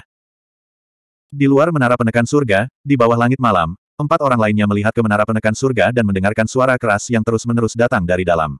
Suara-suara itu seperti suara bel. Bahkan orang-orang di luar pun terguncang hingga darah mereka melonjak. Mereka bahkan mengerutkan kening dan mundur. Setelah beberapa getaran, menara itu berhenti. Tidak ada suara sama sekali. Suasana benar-benar sunyi. Tiga orang di luar Sekte Seribu Menara Ilahi merasa khawatir. Persepsi mereka tidak bisa menembus menara sama sekali, jadi mereka tidak tahu apa yang terjadi di dalam. Salah satu dari mereka bertanya pada Liang He, Sekte Master Liang, tidak ada masalah di dalam, kan? Akankah dia menghancurkan menara penekan surga? Liang He menoleh untuk melihat orang itu dan berkata sambil tersenyum, saya belum pernah bertemu siapa pun yang bisa keluar dari menara penekan surga saya. Liang dia tidak berbohong. Bahkan ketika dia dikalahkan oleh Wang Yang Cheng, Wang Yang Cheng belum pernah memasuki menara penekan surga. Sebaliknya, dia menghindari menara penekan surga dan mengalahkan Liang He di luar. Kalimat ini saja sudah menunjukkan bahwa Liang He sangat percaya diri. Kemudian, Liang He berinisiatif mengangkat tangannya. Menara penekan surga segera dibuka. Itu terbagi menjadi delapan bagian dari pusat dan menyebar ke segala arah. Sementara itu, mekanisme dan mekanisme yang tak terhitung jumlahnya di dalamnya juga terpisah, termasuk enam wajah yang menjebak Liu Ju. Keenam permukaan terpisah dan Liu Ju keluar dari dalam. Mereka bertiga sudah bersiap untuk berperang. Tapi saat Liu Ju muncul, mereka tercengang. Liu Ju berlumuran darah dan kehilangan kesadaran. Dia hanya memiliki satu nafas terakhir yang tersisa di dalam dirinya. Jika dia berhenti bernapas, dia akan benar-benar mati. Liu Ju belum bisa mati. Salah satu dari mereka segera mengambil tindakan dan memenjarakan Liu Ju yang terjatuh. Kemudian, dia menyalurkan sejumlah energi penyembuhan untuk mempertahankan hidupnya. Paling tidak, mereka harus mencari tahu di mana Sekte Guang Yu berada sebelum mereka bisa membunuhnya. Bawa dia kembali dulu. Liang He menarik napas dalam-dalam dan menjadi serius lagi. Dia berkata, kami berempat akan terus mengejar dan melihat apakah kami dapat membantu Master Sekte Wang. Oke, orang itu segera mengangguk dan membuat susunan teleportasi untuk kembali ke markas aliansi. 2587. Delapan benua kuno, markas besar aliansi. Saat itu masih larut malam, dan belum banyak waktu berlalu. Namun, kejadian malam ini sungguh luar biasa, dan setiap kejadian lebih berat dari kejadian sebelumnya. Dari kelihatannya, misi untuk menghadapi binatang mistik adalah tugas kedua. Apa yang mereka alami sekarang adalah hal terpenting. Tidak lama setelah Liu Yi menginterogasi Fang Xuan dan Chu San Chuan dan Fang Xuan pergi, arai teleportasi diaktifkan di markas bawah tanah. Semua orang terkejut dan menoleh untuk melihat. Itu tidak lain adalah wakil Master Sekte dari seratus senjata Sekte, Keseng Hua. Sekte seratus senjata adalah sekutu dari Sekte Pemakan Surga. Oleh karena itu, Ketika Moche memasuki arai teleportasi, Master Sekte dari seratus senjata Sekte, Duji, dan Keseng Hua segera mengikutinya. Kali ini, Keseng Hua tidak kembali sendirian. Dia membawa seseorang yang berlumuran darah bersamanya. Semua orang menoleh. Meskipun orang ini menundukkan kepalanya dan berlumuran darah, penampilannya tidak dapat terlihat dengan jelas. Tapi dari pakaian orang ini dan sisa kit terakhir yang dia tinggalkan, mereka dapat dengan jelas mengatakan bahwa dia adalah salah satu master sekte dari sekte Guang Yu yang baru saja melarikan diri, Liu Ju. Menangkap satu. Keseng Hua mengangkat tangannya dan mengusir Liu Ju. Tubuh Liu Ju terjatuh dengan keras di tengah kerumunan, tepat di samping Juenian. Melihat Liu Ju dalam keadaan yang menyedihkan, Juenian sangat terkejut. Dikejar oleh sepuluh guru surgawi tingkat sembilan, memang terlalu sulit untuk melarikan diri. Warski, yang selama ini tidak banyak bicara, melihat pemandangan ini. Wang Yangcheng, Huang Ding, dan Mo Che semuanya sudah pergi, jadi dia harus mengambil alih. Dia memandang ke Seng Hua dan bertanya, bagaimana dengan yang lainnya? Kami belum menangkapnya, kata ke Seng Hua. Mereka masih mengejar. Warski mengangguk sedikit, tapi dia tetap tidak ingin bicara terlalu banyak. Dia menoleh ke arah kerumunan dan berkata, kami telah menangkap satu. Siapa pun yang ingin menginterogasinya bebas melakukannya. Mendengar kata-kata Warski, semua orang hanya bisa saling memandang. Siapa pun yang berbicara akan membuat orang lain merasa bahwa mereka sedang mencuri perhatian. Tidak ada yang ingin mencuri perhatian. Jika Warski tidak bertanggung jawab atas interogasi tersebut, maka satu-satunya yang dapat diinterogasi adalah Ice Fire Union. Semua orang menoleh untuk melihat Luan dan Liu Yi. Namun, Luan tentu saja tidak akan mengambil inisiatif untuk mengatakan apa pun. Dia harus menunggu pendapat istrinya. Jelas, Liu Yi tidak berencana untuk mengatakan apa pun. Dia hanya memandang semua orang dengan tenang. Dia tahu bahwa seseorang tidak akan mampu menahan keinginan untuk menginterogasinya. Liu Yi benar. Dua napas kemudian, seseorang tiba-tiba berbicara. Itu tidak lain adalah penguasa Sekte Guntur Hitam, Gai Jiushu. Dia menarik napas dalam-dalam dan berkata dengan lantang kepada orang banyak, siapa yang bisa membangunkannya. Izinkan saya bertanya. Semua orang bergidik mendengar ini. Kita harus tahu bahwa Sekte Guang Yu dan Sekte Guntur Hitam adalah sekutu. Tentu saja momen kejadian tersebut sudah berlalu. Gai Jiuzhou telah mengambil inisiatif untuk berbicara sekarang untuk memperjelas pendiriannya. Liu Yi menoleh untuk melihat Master Sekte Misty Rain, Yanxi. Yanxi mengerti dan segera mengangkat tangannya. Aliran energi penyembuhan yang kental melonjak menuju pusat, menyelimuti Liu Ju. Selama luka Liu Ju diobati sedikit, itu sudah cukup untuk membangunkannya. Menghadapi Sekte Guang Yu, Yanxi hanya memiliki niat membunuh. Segera, tubuh Liu Ju mulai terlihat gemetar selama proses penyembuhan. Kurang dari tiga napas setelah kekuatan penyembuhan menghilang, Liu Ju hampir tidak bisa bergerak. Menggunakan lengannya untuk menopang tubuhnya, dia mengangkat kepalanya dan melihat sekeliling. Liu Ju melihat sekeliling dan menyadari bahwa dia telah dibawa kembali ke tempat ini. Keputusasaan muncul di hatinya. Namun, Liu Ju tidak takut mati seperti Juenian. Keputusasaan ini tidak membuatnya memohon ampun. Sebaliknya, dia tertawa terbahak-bahak. Hahaha. Hahaha. Liu Ju tertawa gila. Darah terus mengalir keluar dari mulutnya, tapi tidak bisa menghentikan tawanya. Tawa itu memasuki telinga semua orang. Semua orang mengerutkan kening dan memandang Liu Ju dengan serius. Liu Ju tertawa sepuluh tarikan napas dan tidak berhenti. Gai Jiushu akhirnya tidak bisa menahannya dan berteriak pada Liu Ju, berhentilah tertawa. Suara Gejushu membawa sejumlah kekuatan tertentu yang langsung ditujukan pada Liu Ju. Biasanya, ini bukan masalah besar. Namun, Liu Ju terluka parah. Tubuhnya bergetar dan tawannya berhenti. Batuk, batuk Liu Ju terbatuk dengan keras, meludahkan darah ke seluruh tanah. Berbicara, Gai Jiushu memandang Liu Ju dan berteriak dengan marah, di mana sekte Guang Yu. Mendengar pertanyaan Gai Jiushu, Liu Ju, yang merasa sedikit lebih baik setelah batuk, menoleh ke arahnya. Meski dia sudah berhenti tertawa, mata dan mulutnya masih tersenyum.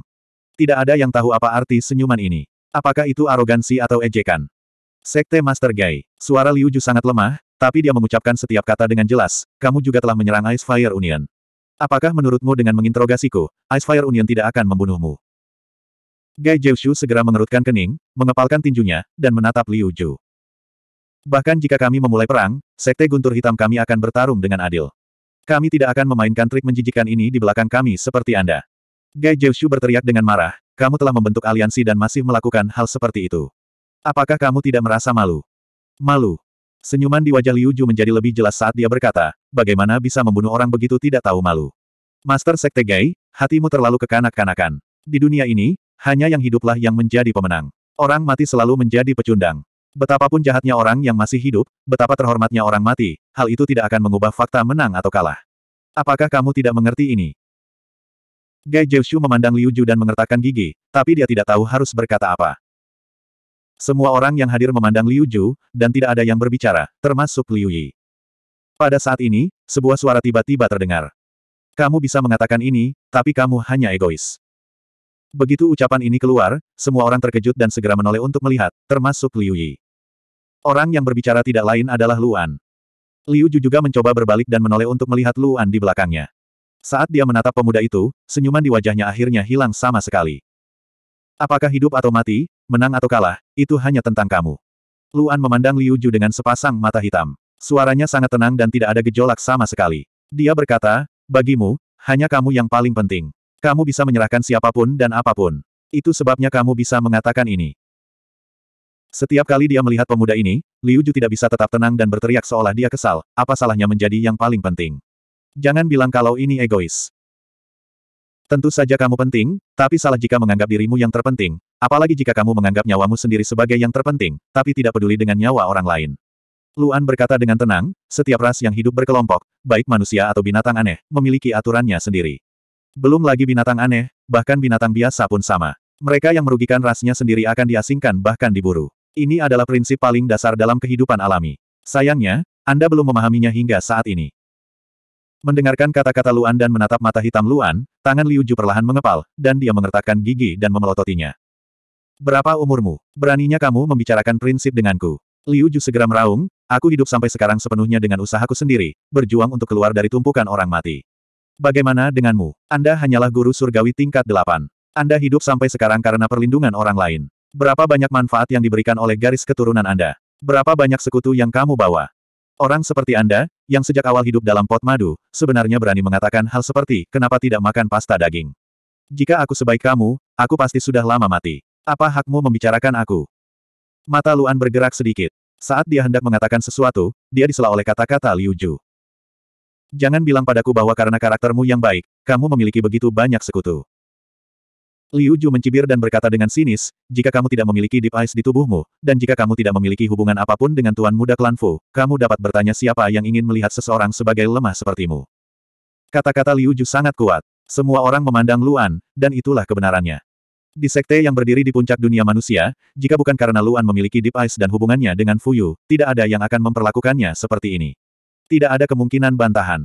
Liu Yi juga memandang Luan. Dia adalah satu-satunya orang yang hadir yang memahami Luan, jadi dia sangat jelas. Bahwa bukan ini yang ingin dibicarakan oleh Luan. Akankah dia benar-benar mengatakannya? Luan menarik napas ringan. Matanya yang gelap masih sangat tenang, tanpa riak apa pun. Aku, bukanlah seseorang yang tumbuh dalam pot madu. 2588 Kata-kata Luan menggetarkan hati semua orang yang hadir. Semua orang mengira Luan akan menyangkal bagian kedua dari kata-kata Liu Ju, tetapi mereka tidak pernah menyangka bahwa Luan benar-benar akan mengucapkan bagian pertama kalimatnya. Semua orang segera merenung. Memang benar, semua sekte telah berusaha semaksimal mungkin untuk mencari informasi tentang Luan, namun sekeras apa pun mereka berusaha, mereka hanya dapat mengetahui tentang musim gugur ketika Luan berusia 12 tahun. Sebuah akademi di kota kecil di negara kecil yang sangat tidak mencolok. Itulah sumber dari semua sekte yang dapat ditemukan. Adapun 12 tahun sebelum Luan berada di Star Virtual Lege, tidak ada yang tahu apa yang dia alami. Mungkinkah, kehidupannya selama 12 tahun terakhir ini tidak baik? Bagaimana mungkin, untuk seseorang seperti Luan yang memiliki roda takdir ekstrim, bukankah dia akan menjadi pusat perhatian ke mana pun dia pergi? Apa maksudmu? Liu Ju segera bertanya. Dia tahu bahwa dia akan mati hari ini, jadi sebaiknya dia menyelesaikan masalah ini. Tidak ada apa-apa. Luan berkata dengan lembut, saya hanya ingin memberitahu Anda bahwa ini bukan karena saya belum pernah menderita sebelumnya, dan jumlah penderitaan yang saya derita tidaklah sedikit. Saya akui bahwa saya mendapat banyak bantuan untuk mencapai posisi saya saat ini. Saya tidak akan menyangkal keberuntungan saya, tetapi saya juga tidak akan menyangkal kerja keras saya. Mendengar kata-kata Luan, mata semua orang dipenuhi dengan lebih banyak pikiran. Liu Yi, yang berada di samping Luan, memandang suaminya. Pada akhirnya, suaminya tidak membeberkan hal tersebut, yang membuatnya merasa lega. Sekarang memang bukan saat yang tepat untuk mengungkapkannya. Bahkan jika dunia manusia pada dasarnya telah menghilang dan tidak diperlukan aturan apa pun, jika masalah ini diketahui oleh klan Hachiko, masih ada risiko yang tinggi. Budak akan selalu menjadi budak. Di mata dunia sekuler, mereka sama sekali bukan manusia. Mereka tidak berbeda dengan hewan ternak. Penuh omong kosong. Liu Ju mencibir dan berkata dengan sinis, kamu baru hidup beberapa tahun, dan kamu berani mengatakan bahwa kamu telah menderita. Berapa kali saya melewati api dan air dalam hidup saya. Berapa kali saya hampir mati untuk mencapai posisi saya saat ini. Anda pikir Anda memenuhi syarat untuk mengatakan hal seperti itu. Jangan membuat orang tertawa terbahak-bahak. Melihat Liu Ju, Luan tidak memperdebatkan masalah ini lagi. Dia hanya berkata, katakan padaku lokasi sekte Guang Yu, dan kamu akan mati dengan tenang. Mendengar ini, tubuh Liu Ju bergetar. Senyuman sarkastik di wajahnya langsung menghilang, digantikan oleh kengganan dan amarah di awal. Bagaimanapun, aku akan mati. Berhentilah bermimpi, aku tidak akan mengatakan sepatah kata pun. Liu segera meraung dengan marah. Luan tidak menjawab. Sebaliknya, dia menoleh untuk melihat Sekte Guntur Hitam dan Sekte Cahaya Meraj. Satu klan pandai menyerang sementara klan lainnya pandai ilusi. Kedua klan seharusnya punya banyak cara untuk menginterogasinya. Tubuh Liu Ju bergetar pada dirinya sendiri. Tubuh Liu Ju bergetar. Dia mengetahui roda nasib Sekte Guntur Hitam dengan sangat baik. Dia juga tahu betapa menakutkannya interogasi Sekte Guntur Hitam. Saat petir hitam masuk ke dalam tubuh, rasanya seperti dipotong oleh ribuan pisau dari dalam keluar. Itu bukanlah rasa sakit yang bisa ditanggung manusia. Namun, saat semua orang menunggu untuk melihat apakah Liu Ju akan menyerah, tubuh Liu Ju tiba-tiba bergetar. Auranya tiba-tiba runtuh, dan aliran darah hitam keluar dari mulutnya. Kemunculan adegan ini langsung membuat kaget semua orang yang hadir hingga mereka langsung berdiri dan melihat pemandangan ini dengan takjub. Ini adalah racun. Wajah Liu Ju sekali lagi menunjukkan senyuman sinis. Dia menatap semua orang dengan dingin dan berkata, saya telah berjalan selangkah demi selangkah untuk mencapai posisi ini. Saya sudah memikirkan jalan keluar saya. Aku tidak akan membiarkanmu membunuhku. Biarpun aku mati, aku akan mati di tanganku sendiri. Semua orang melihat pemandangan ini dengan cemberut. Sebenarnya, semua guru surgawi tingkat sembilan ingin Liu Ju bunuh diri. Kalau tidak, tidak ada artinya menangkapnya. Tapi tidak ada yang menyangka akan ada racun di tubuh Liu Ju, dan dia bisa menyebabkannya bunuh diri. Ada banyak sekte dengan kemampuan penyembuhan yang kuat, tapi tidak ada yang berani mendekati Liu Ju. Tidak ada yang tahu apa yang bisa dilakukan orang sekarat. Liu Ju bertekad untuk mati. Mungkin dia akan menggunakan kekuatan untuk menyeret semua orang bersamanya. Dengan karakter Liu Ju, dia pasti akan melakukan hal seperti itu. Racun itu dengan ganasnya menyapu tubuh Liu Ju. Auranya runtuh dengan cepat, begitu pula cahaya di matanya. Dia merasakan racun kuat mengalir di tubuhnya. Bukan karena dia belum pernah diracuni sebelumnya, tapi ini pertama kalinya dia merasakan racun yang mematikan. Ternyata, orang-orang yang telah dibunuh olehnya merasakan hal yang sama ketika mereka akan mati. Namun, tidak ada satupun orang di sini yang bisa melarikan diri. Liu Ju menoleh untuk melihat Luan. Di saat-saat terakhir hidupnya, dia memilih untuk melihat musuhnya. Pada saat yang sama, dia berkata, aku akan menunggumu di akhirat. Jika saatnya tiba, aku akan membunuhmu dengan tanganku sendiri. Sayangnya, Luan tidak bereaksi apa pun setelah mendengar kata-katanya. Dia mengangkat tangannya, dan Deep Eyes segera muncul dan terbang ke arahnya. Bang! Liu Ju yang sekarat bahkan tidak bisa menahan kekuatan guru surgawi tingkat delapan. Dia segera dikurung di dalam sangkar persegi yang lebarnya kurang dari sepuluh kaki. Keenam sisinya tertutup es tanpa ada celah. Saat dia melihat es muncul, ekspresi Liu Ju berubah drastis. Tidak. Saat Liu Ju meraung, matanya membelalak. Tubuhnya bergetar hebat, dan darah di tubuhnya bergetar hebat. Itu membentuk asap hitam tebal yang menyebar keluar. Namun, Liu Ju tidak memiliki banyak kekuatan sekarang. Asap beracun yang menyebar bahkan tidak sekuat dampak yang ditimbulkan oleh guru surgawi tingkat delapan. Kekuatan sebenarnya adalah atribut dari asap beracun itu sendiri. Ini adalah racun paling kuat yang pernah digunakan Liu Ju dalam hidupnya setelah menghancurkan racun di tubuhnya dan menggabungkannya dengan darahnya. Toksisitas racun ini begitu kuat sehingga bahkan guru surgawi tingkat sembilan pun akan terpengaruh jika dia tidak mengerahkan seluruh kekuatannya untuk bertahan. Bahkan pertahanannya pun akan cepat ditembus. Tentu saja racun ini hanya bisa digunakan sekali seumur hidup. Namun, tidak peduli seberapa kuat racunnya, itu tidak akan efektif jika dihadapkan dengan atribut ekstrim. Asap tebal tak mampu menembus lapisan es. Seluruh interior menjadi hitam. Namun, asap tebal dengan cepat berubah menjadi cair, dan kemudian menjadi padat. Itu seperti kristal es yang jatuh. Dengan sangat cepat, seluruh lapisan es menjadi transparan kembali. Kristal es hitam kecil jatuh ke tanah. Di tengah, mayat Liu Ju roboh seluruhnya ke tanah. Matanya terbuka lebar, dan dia meninggal dengan penuh keluhan. Itu benar. Guru surgawi tingkat sembilan, wakil pemimpin sekte, meninggal di depan semua orang begitu saja. Semua orang melihat pemandangan ini. Meskipun mereka semua merasa Liu Ju pantas mati, mereka masih memiliki emosi lain di hati mereka. Namun, emosi tersebut tidak bertahan lama. Bagaimanapun, Liu Ju pantas mati. Dia tidak bisa menyalahkan orang lain. Namun, Liu Ju sudah meninggal. Satu-satunya cara untuk menemukan lokasi sekte Guang Yu adalah melalui Sukeming. Wang Yangcheng dan yang lainnya harus menangkap Sukeming. Jika tidak, masalah ini akan menemui jalan buntu. Sembilan orang untuk menangkap satu orang. Tidak peduli apa, tidak akan terjadi apa-apa, bukan? Suasananya menyesakkan, dan suasana hati semua orang terasa berat. Pada saat ini, tidak ada yang mengira bahwa terlalu banyak waktu telah berlalu. Pikiran setiap orang dipenuhi dengan banyak hal. Namun, kurang dari 20 napas waktu telah berlalu. Tiba-tiba, susunan teleportasi muncul dan menyala di markas bawah tanah. Semua orang terkejut dan segera menoleh untuk melihat. Bahkan Juenian, yang tubuhnya gemetar tanpa henti di tengah, juga sama. Jelas sekali bahwa kemungkinan besar ini adalah kembalinya Wang Yangcheng dan yang lainnya. Kenyataan membuktikan bahwa tebakan semua orang benar. Memang mereka sembilan orang. Namun, ketika semua orang melihat mereka sembilan keluar dari susunan teleportasi satu demi satu, sampai orang ke sembilan muncul. Setelah susunan teleportasi ditutup, mereka tidak melihat orang ke-10 muncul. Melihat ekspresi berat Wang Yangcheng dan yang lainnya, hati semua orang tenggelam. Mungkinkah? Wang Yangcheng menarik napas dalam-dalam dan berinisiatif untuk berbicara. Dia memandang Luan dan berkata, Maaf, saudara Lu. Kami tidak dapat menangkap Su Keming. Dia melarikan diri. Ketika semua orang mendengar ini, mereka segera menarik napas dalam-dalam. 2589. Dia kabur. Semua orang terkejut. Su Keming masih bisa melarikan diri dengan sepuluh orang mengejarnya. Ini adalah sesuatu yang tidak diharapkan oleh siapa pun. Su Keming memang melarikan diri. Setelah dengan paksa keluar dari api, dia tidak berhenti bahkan ketika tubuhnya dipenuhi luka bakar. Menghadapi ledakan sebesar itu, hanya Wang Yangcheng dan Chen Kuang yang mampu menyerang. Bagaimanapun, keduanya mahir dalam atribut yang dan jauh lebih tahan terhadap suhu tinggi. Ini berarti setelah keluar dari ledakan, hanya mereka berdua yang tersisa mengejar Sukeming.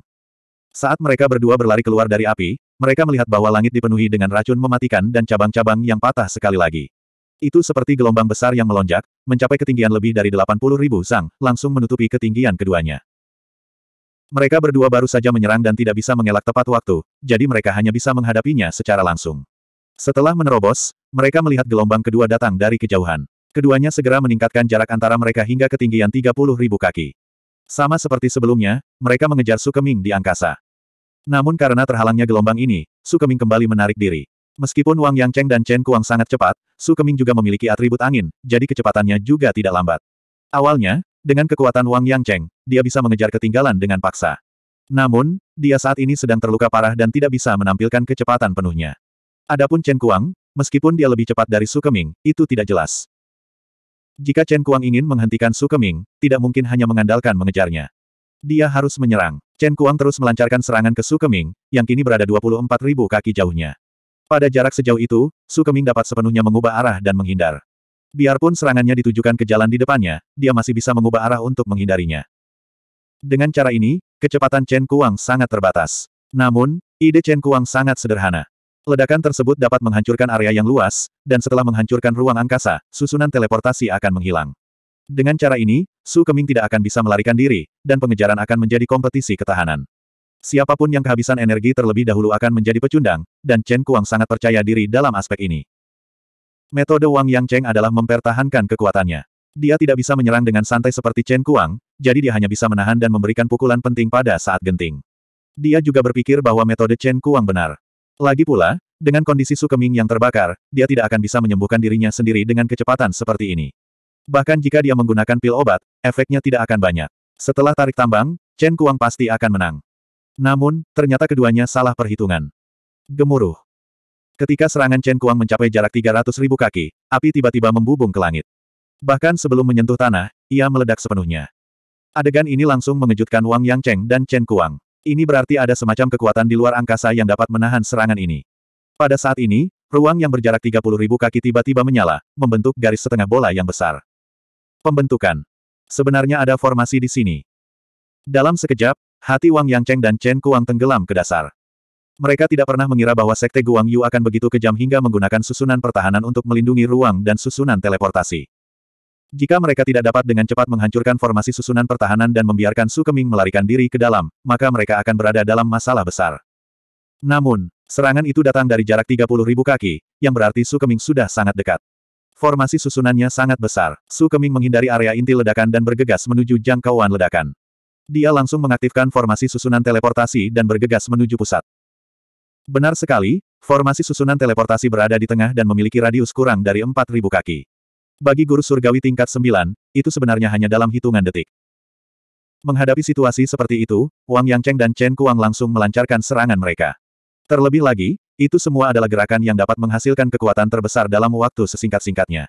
Dua pilar lampu merah-merah segera melesat dari langit dan langsung mencapai formasi susunan pertahanan yang berjarak 24.000 kaki. Ledakan. Kedua serangan tersebut mengenai formasi susunan pertahanan dan kekuatannya melebihi batas pertahanan dari formasi susunan pertahanan, menyebabkannya meledak dan hancur.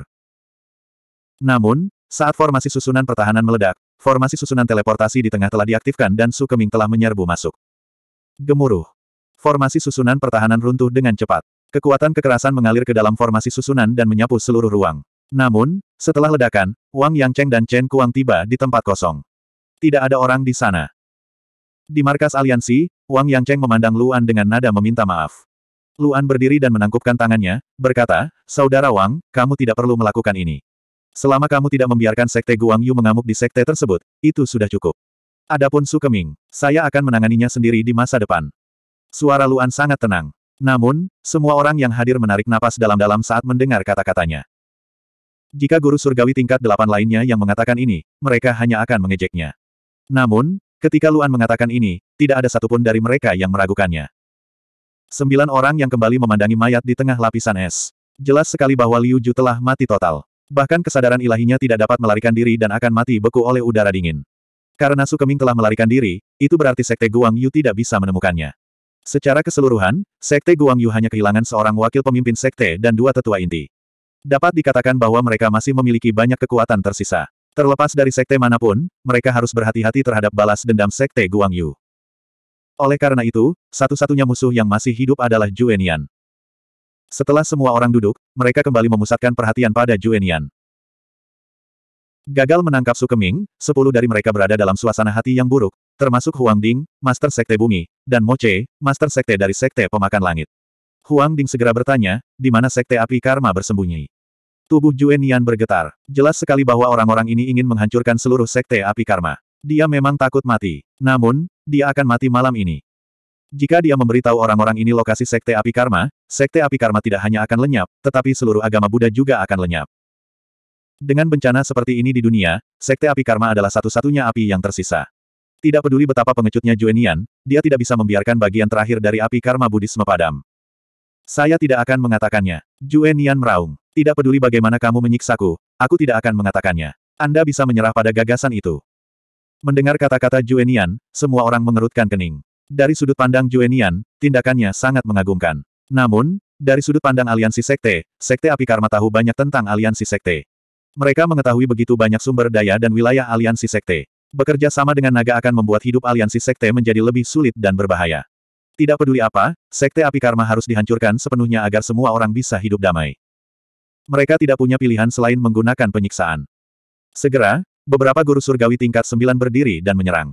Tak seorang pun yang bisa mencapai posisi ini akan berhati lembut. Mereka tidak akan menunjukkan belas kasihan saat menyerang. Melihat orang-orang ini berjalan ke arahnya, wajah Juenian menjadi pucat pasi. Dia tahu bahwa dia sudah ditakdirkan. Dia tidak akan bisa melihat matahari besok. Malam ini adalah malam terakhir dalam hidupnya. Sebelum malam ini, tidak peduli bagaimana dia memikirkannya, dia tidak pernah berpikir bahwa dia akan dibunuh malam ini. Jika dia tahu ini akan terjadi, setidaknya dia akan lebih menghargai sinar matahari di siang hari, lebih banyak melihat gunung dan sungai, dan bermeditasi di depan Buddha untuk jangka waktu tertentu. Berbicara tentang meditasi, dia sudah lama tidak melakukannya. Dia sudah sangat tua, dia telah hidup lebih dari seribu tahun. Sebenarnya dulu sekali, dia merasa sudah hidup terlalu lama. Dia bahkan bosan dengan hal itu. Namun, ketika kematian datang, ia menyadari bahwa ia belum hidup cukup lama. Itu masih jauh dari cukup. Dia masih ingin hidup, tapi dia tidak punya kesempatan lagi. Bahkan jika dia mati, dia ingin mati di tangannya sendiri seperti Liu Ju. Dengan begitu, dia bisa meninggalkan mayat utuh. Dia tidak bisa mati di tangan musuh dalam penghinaan. Ledakan. Beberapa orang yang berjalan menuju Jue Nian gemetar. Mereka segera berhenti. Di saat yang sama, mereka mengangkat tangan untuk membentuk lapisan pertahanan. Itu sepenuhnya menutupi area tengah untuk mencegah para tetua terluka. Kemudian, semua orang mengerutkan kening dan menatap Juenian yang duduk bersila di tengah. Orang ini, seluruh tubuhnya terbakar dengan amukan api, menelan dirinya sepenuhnya. Api Karma. Tubuh pembakaran api Karma. Ini adalah salah satu teknik rahasia unik dari Sekte Api Karma. Bahkan guru surgawi tingkat sembilan yang hadir tidak dapat menekan kekuatan ini. Ini adalah nyala api yang muncul dari setiap bagian tubuh. Selama garis keturunannya masih ada, pasti akan muncul. Tubuh pembakaran api karma sebenarnya adalah cara sekte api karma untuk mengakhiri hidupnya sendiri. Itu hanya ditujukan pada mereka yang bersalah. Itu adalah teknik hukuman rahasia. Juenian menggunakan teknik rahasia ini. Itu artinya dia sangat ingin mati. Dia bahkan mengira dia bersalah. Dia memang bersalah. Dia tidak bisa terus memimpin sekte api karma. Dia, yang terbakar oleh api karma, tiba-tiba berbalik. Kepalanya di bawah kobaran api menghadap Luan. Meski wajahnya tidak terlihat dalam kobaran api, pemandangan ini mengejutkan semua orang yang hadir. Mereka bisa membayangkan tatapan mengerikan Juenian. Kemudian, Juenian mengangkat jarinya dan menunjuk ke arah Luan. Setelah menahan beberapa napas, dia pingsan. 2590 Melihat tubuh Juenian terbakar di tanah, semua orang mengerutkan kening tapi tidak ada yang mengucapkan sepatah kata pun. Hanya ketika tubuh Annihilation benar-benar terbakar dan hanya tersisa beberapa bagian, barulah mereka membubarkan penghalang pertahanan. Meskipun keduanya pantas mendapatkannya, melihat dua guru surgawi level 9 mati di depan mereka membuat hati semua orang terasa berat. Namun, semua orang yang hadir telah melihat terlalu banyak adegan kematian. Mereka hanya akan menghela nafas, dan tidak akan terlalu terpengaruh olehnya. Sekarang terdapat begitu banyak masalah internal dan eksternal, Sekte Api Karma dan Sekte Guang Yu masih hidup. Ini berarti setiap orang harus pindah ke tempat persembunyiannya sesegera mungkin untuk mencegah kedua sekte dan binatang mistik menemukan mereka. Di masa depan, sekte harus hidup lebih hati-hati. Bahkan pergerakan guru surgawi level 8 harus dikurangi secara signifikan untuk memastikan keamanan sekte. Di bawah perintah Wang Yangcheng, Penatua Inti Cui Yan dan Bian Zhan segera membawa kedua mayat itu dan melemparkannya ke laut melalui susunan teleportasi. Saat kedua mayat itu menghilang dari pandangan mereka, semua orang dengan cepat kembali tenang. Operasi malam ini melibatkan Sekte Api Karma, Sekte Guang Yu, dan Sekte Pembuka Gunung. Semua orang merasa sulit untuk menerimanya, tapi apa pun yang terjadi, mereka harus membuat kesimpulan dan merencanakan masa depan. Master Sekte Bumi Huang Ding menarik napas dalam-dalam dan berkata kepada semua orang, binatang mistik, dengan Sekte Api Karma dan Sekte Guang Yu, kesulitan kita akan jauh lebih besar dari sebelumnya. Mulai sekarang, kita harus sangat berhati-hati dalam segala tindakan kita. Jika tidak ada keadaan khusus, saya menyarankan agar semua sekte tidak keluar begitu saja agar tidak ketahuan. Itu benar. Moche mengangguk dan berkata, termasuk operasi hari ini, meskipun kita mendapat beritanya, kita tidak bisa bertindak begitu saja. Faktanya, saya menyarankan agar kita tidak bertindak lagi. Hati semua orang terasa berat. Seperti kata pepatah, sekali digigit, dua kali malu. Memikirkan kejadian hari ini saja sudah membuat mereka ketakutan. Saat ini, Wang Yangcheng tiba-tiba berbicara. Dia memandang Luan dan berkata, Saudara Lu, bisakah Anda memberitahu kami tentang aliansi manusia langit? Ketika semua orang mendengar ini, tubuh mereka bergetar dan mereka semua memandang Luan. Sejujurnya, mereka terlalu penasaran dengan aliansi manusia langit. Namun, tidak mudah menanyakan hal seperti itu. Namun, Wang Yangcheng adalah seorang fanatik seni bela diri dan tidak peduli dengan hal-hal seperti itu. Selain itu, Wang Yangcheng telah banyak membantu Luan. Mereka berdua bersaudara, jadi boleh saja bertanya. Tentu saja. Luan berkata, Su He memberitahuku bahwa jika bukan karena empat master sekte dan kepala sekolah, konsekuensinya tidak akan terbayangkan. Dia juga ingin mengucapkan terima kasih secara pribadi kepada kalian berempat. Setelah Su He kembali dari misinya, dia segera menceritakan semuanya kepada Liu Yi. Liu Yi tidak menyangka naga begitu kuat. Karena Liga Surgawi telah terungkap, tidak perlu bersembunyi. Oleh karena itu, dia setuju untuk mengatakan kebenaran tentang Liga Surgawi, yang akan sangat bermanfaat bagi Liga Es dan Api. Luan berdiri dan mengaktifkan susunan transmisi untuk pergi. Setelah beberapa saat, susunan transmisi terbuka lagi dan dua sosok keluar. Mereka tidak lain adalah Luan dan Zuhe. Begitu Zuhe muncul, aura kuat segera menyebar, mengejutkan semua orang yang hadir. Selain Wang Yangcheng dan tiga lainnya, tidak ada orang lain yang tahu apa yang terjadi selama pertempuran dengan naga, mereka juga tidak tahu kekuatan Su He. Mereka bisa merasakan aura Su He tidak stabil. Jelas sekali dia menderita luka dalam yang serius.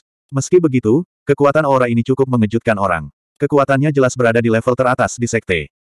Begitu Zu He muncul, Wang Yangcheng segera berdiri. Wang Yangcheng adalah seorang fanatik seni bela diri dan paling menghormati orang-orang berkuasa. Adapun Huang Ding, Mo Che, dan Zantian, mereka juga langsung berdiri. Setelah melihat kekuatan Zuhe dengan mata kepala sendiri, mereka mau tidak mau mengakui dan bahkan menghormati orang ini. Saat mereka berempat berdiri, semua orang yang hadir juga berdiri, apakah itu guru surgawi tingkat 9 atau guru surgawi tingkat 8, termasuk Liu Yi. Setelah Zuhe tiba, dia tidak menyapa semua orang terlebih dahulu. Sebaliknya, dia menangkupkan tangannya dan berkata kepada Liu Yi, Nyonya Lu. Liu Yi tersenyum dan tidak mengatakan apa pun. Dia tahu bahwa fokusnya bukan pada dirinya. Setelah membungkuk pada Liu Yi, Su He melihat semua orang yang hadir lagi. Saat dia melihat begitu banyak orang, dia menarik napas dalam-dalam. Suasana hatinya sangat rumit. Apakah dia bahagia? Memang benar, dia sedikit senang. Selama sepuluh ribu tahun, klan Futeng hidup sendirian. Apalagi jumlah mereka semakin sedikit. Hingga saat ini, jumlahnya hanya sembilan. Setiap hari, dia melihat beberapa orang ini. Sekarang dia bisa melihat begitu banyak orang dan begitu banyak orang berkuasa, seolah-olah dia telah kembali ke dunia manusia. Bagaimanapun, manusia adalah ras sosial. Tidak mungkin dia tidak bahagia. Apakah dia sedih? Itu benar, dia sangat sedih. Saat itu, klan Futeng adalah ras kelas satu yang berada di urutan kedua setelah empat ras kuno. Mereka memiliki status yang sangat tinggi di benua itu. Namun, dalam sepuluh ribu tahun terakhir, mereka telah jatuh ke kondisi seperti itu. Di mata mereka, orang-orang di depan mereka adalah kaki tangan klan Hachiko. Mereka adalah penerima manfaat selama sepuluh ribu tahun terakhir. Kebencian di hati mereka tidak bisa dihilangkan. Namun, karena dia bisa muncul di sini dengan Luan di sampingnya, itu berarti dia bersedia melepaskan dendam sebelumnya. Selain itu, setelah menyelamatkan mereka malam ini, dia rela mengubah pandangannya terhadap umat manusia di hadapannya. Saya pemimpin klan Futeng, Su He. Su He mengangkat tangannya dan melihat sekeliling. Dia menangkupkan tangannya dan berkata kepada semua orang, Salam, semuanya. Klan Futeng. Semua guru surgawi level 9 yang hadir terkejut. Nama klan ini terdengar familiar. Mereka sepertinya telah membaca tentang klan ini di buku-buku kuno sebelum delapan era kuno. Semua orang segera mengerutkan kening dan merenung. Pada saat ini, empat orang yang berpartisipasi dalam pertempuran menoleh untuk melihat satu orang. Itu adalah sekutu dari Sekte Ilahi Yin Yang, pemimpin Sekte dari Sekte Enam Jalan, Zhou Baiking. Mereka berempat menoleh pada saat bersamaan. Semua orang segera melihat ke arah Zhou Baiking. Namun, reaksi Zhou Baiking adalah yang terbesar. Dia memandang Zhu He dengan kaget. Reaksi keras Zhou Baiking membingungkan semua orang. Mereka mulai menebak-nebak. Banyak dari mereka yang langsung menebak apa itu klan Futeng. Mereka menarik napas dalam-dalam dan menatap Su He lagi. Kamu, Zhou Baiking menatap Su He dengan kaget. Suaranya bergetar tak percaya saat dia berkata, apakah kamu benar-benar dari klan Futeng? Zhu dia berbalik untuk melihatnya. Dia tidak tahu kenapa orang ini begitu gelisah. Dia mengangguk dan berkata, tentu saja. Bagaimana Futeng Arai bisa dipalsukan? Wajah Zhou Baiking dipenuhi dengan keterkejutan. Jarang sekali melihat guru surgawi level 9 kehilangan ketenangannya seperti ini. Wang Yangcheng memandang Zhou Baiking dan berkata, baru saja, orang ini dan 13 orang lainnya membentuk raksasa setinggi 50 ribu kaki. Kekuatan susunannya belum pernah terjadi sebelumnya. Sayang sekali saudara Zhou tidak ikut dengan saya. Jika tidak, Anda akan melakukannya telah mendapatkan banyak manfaat.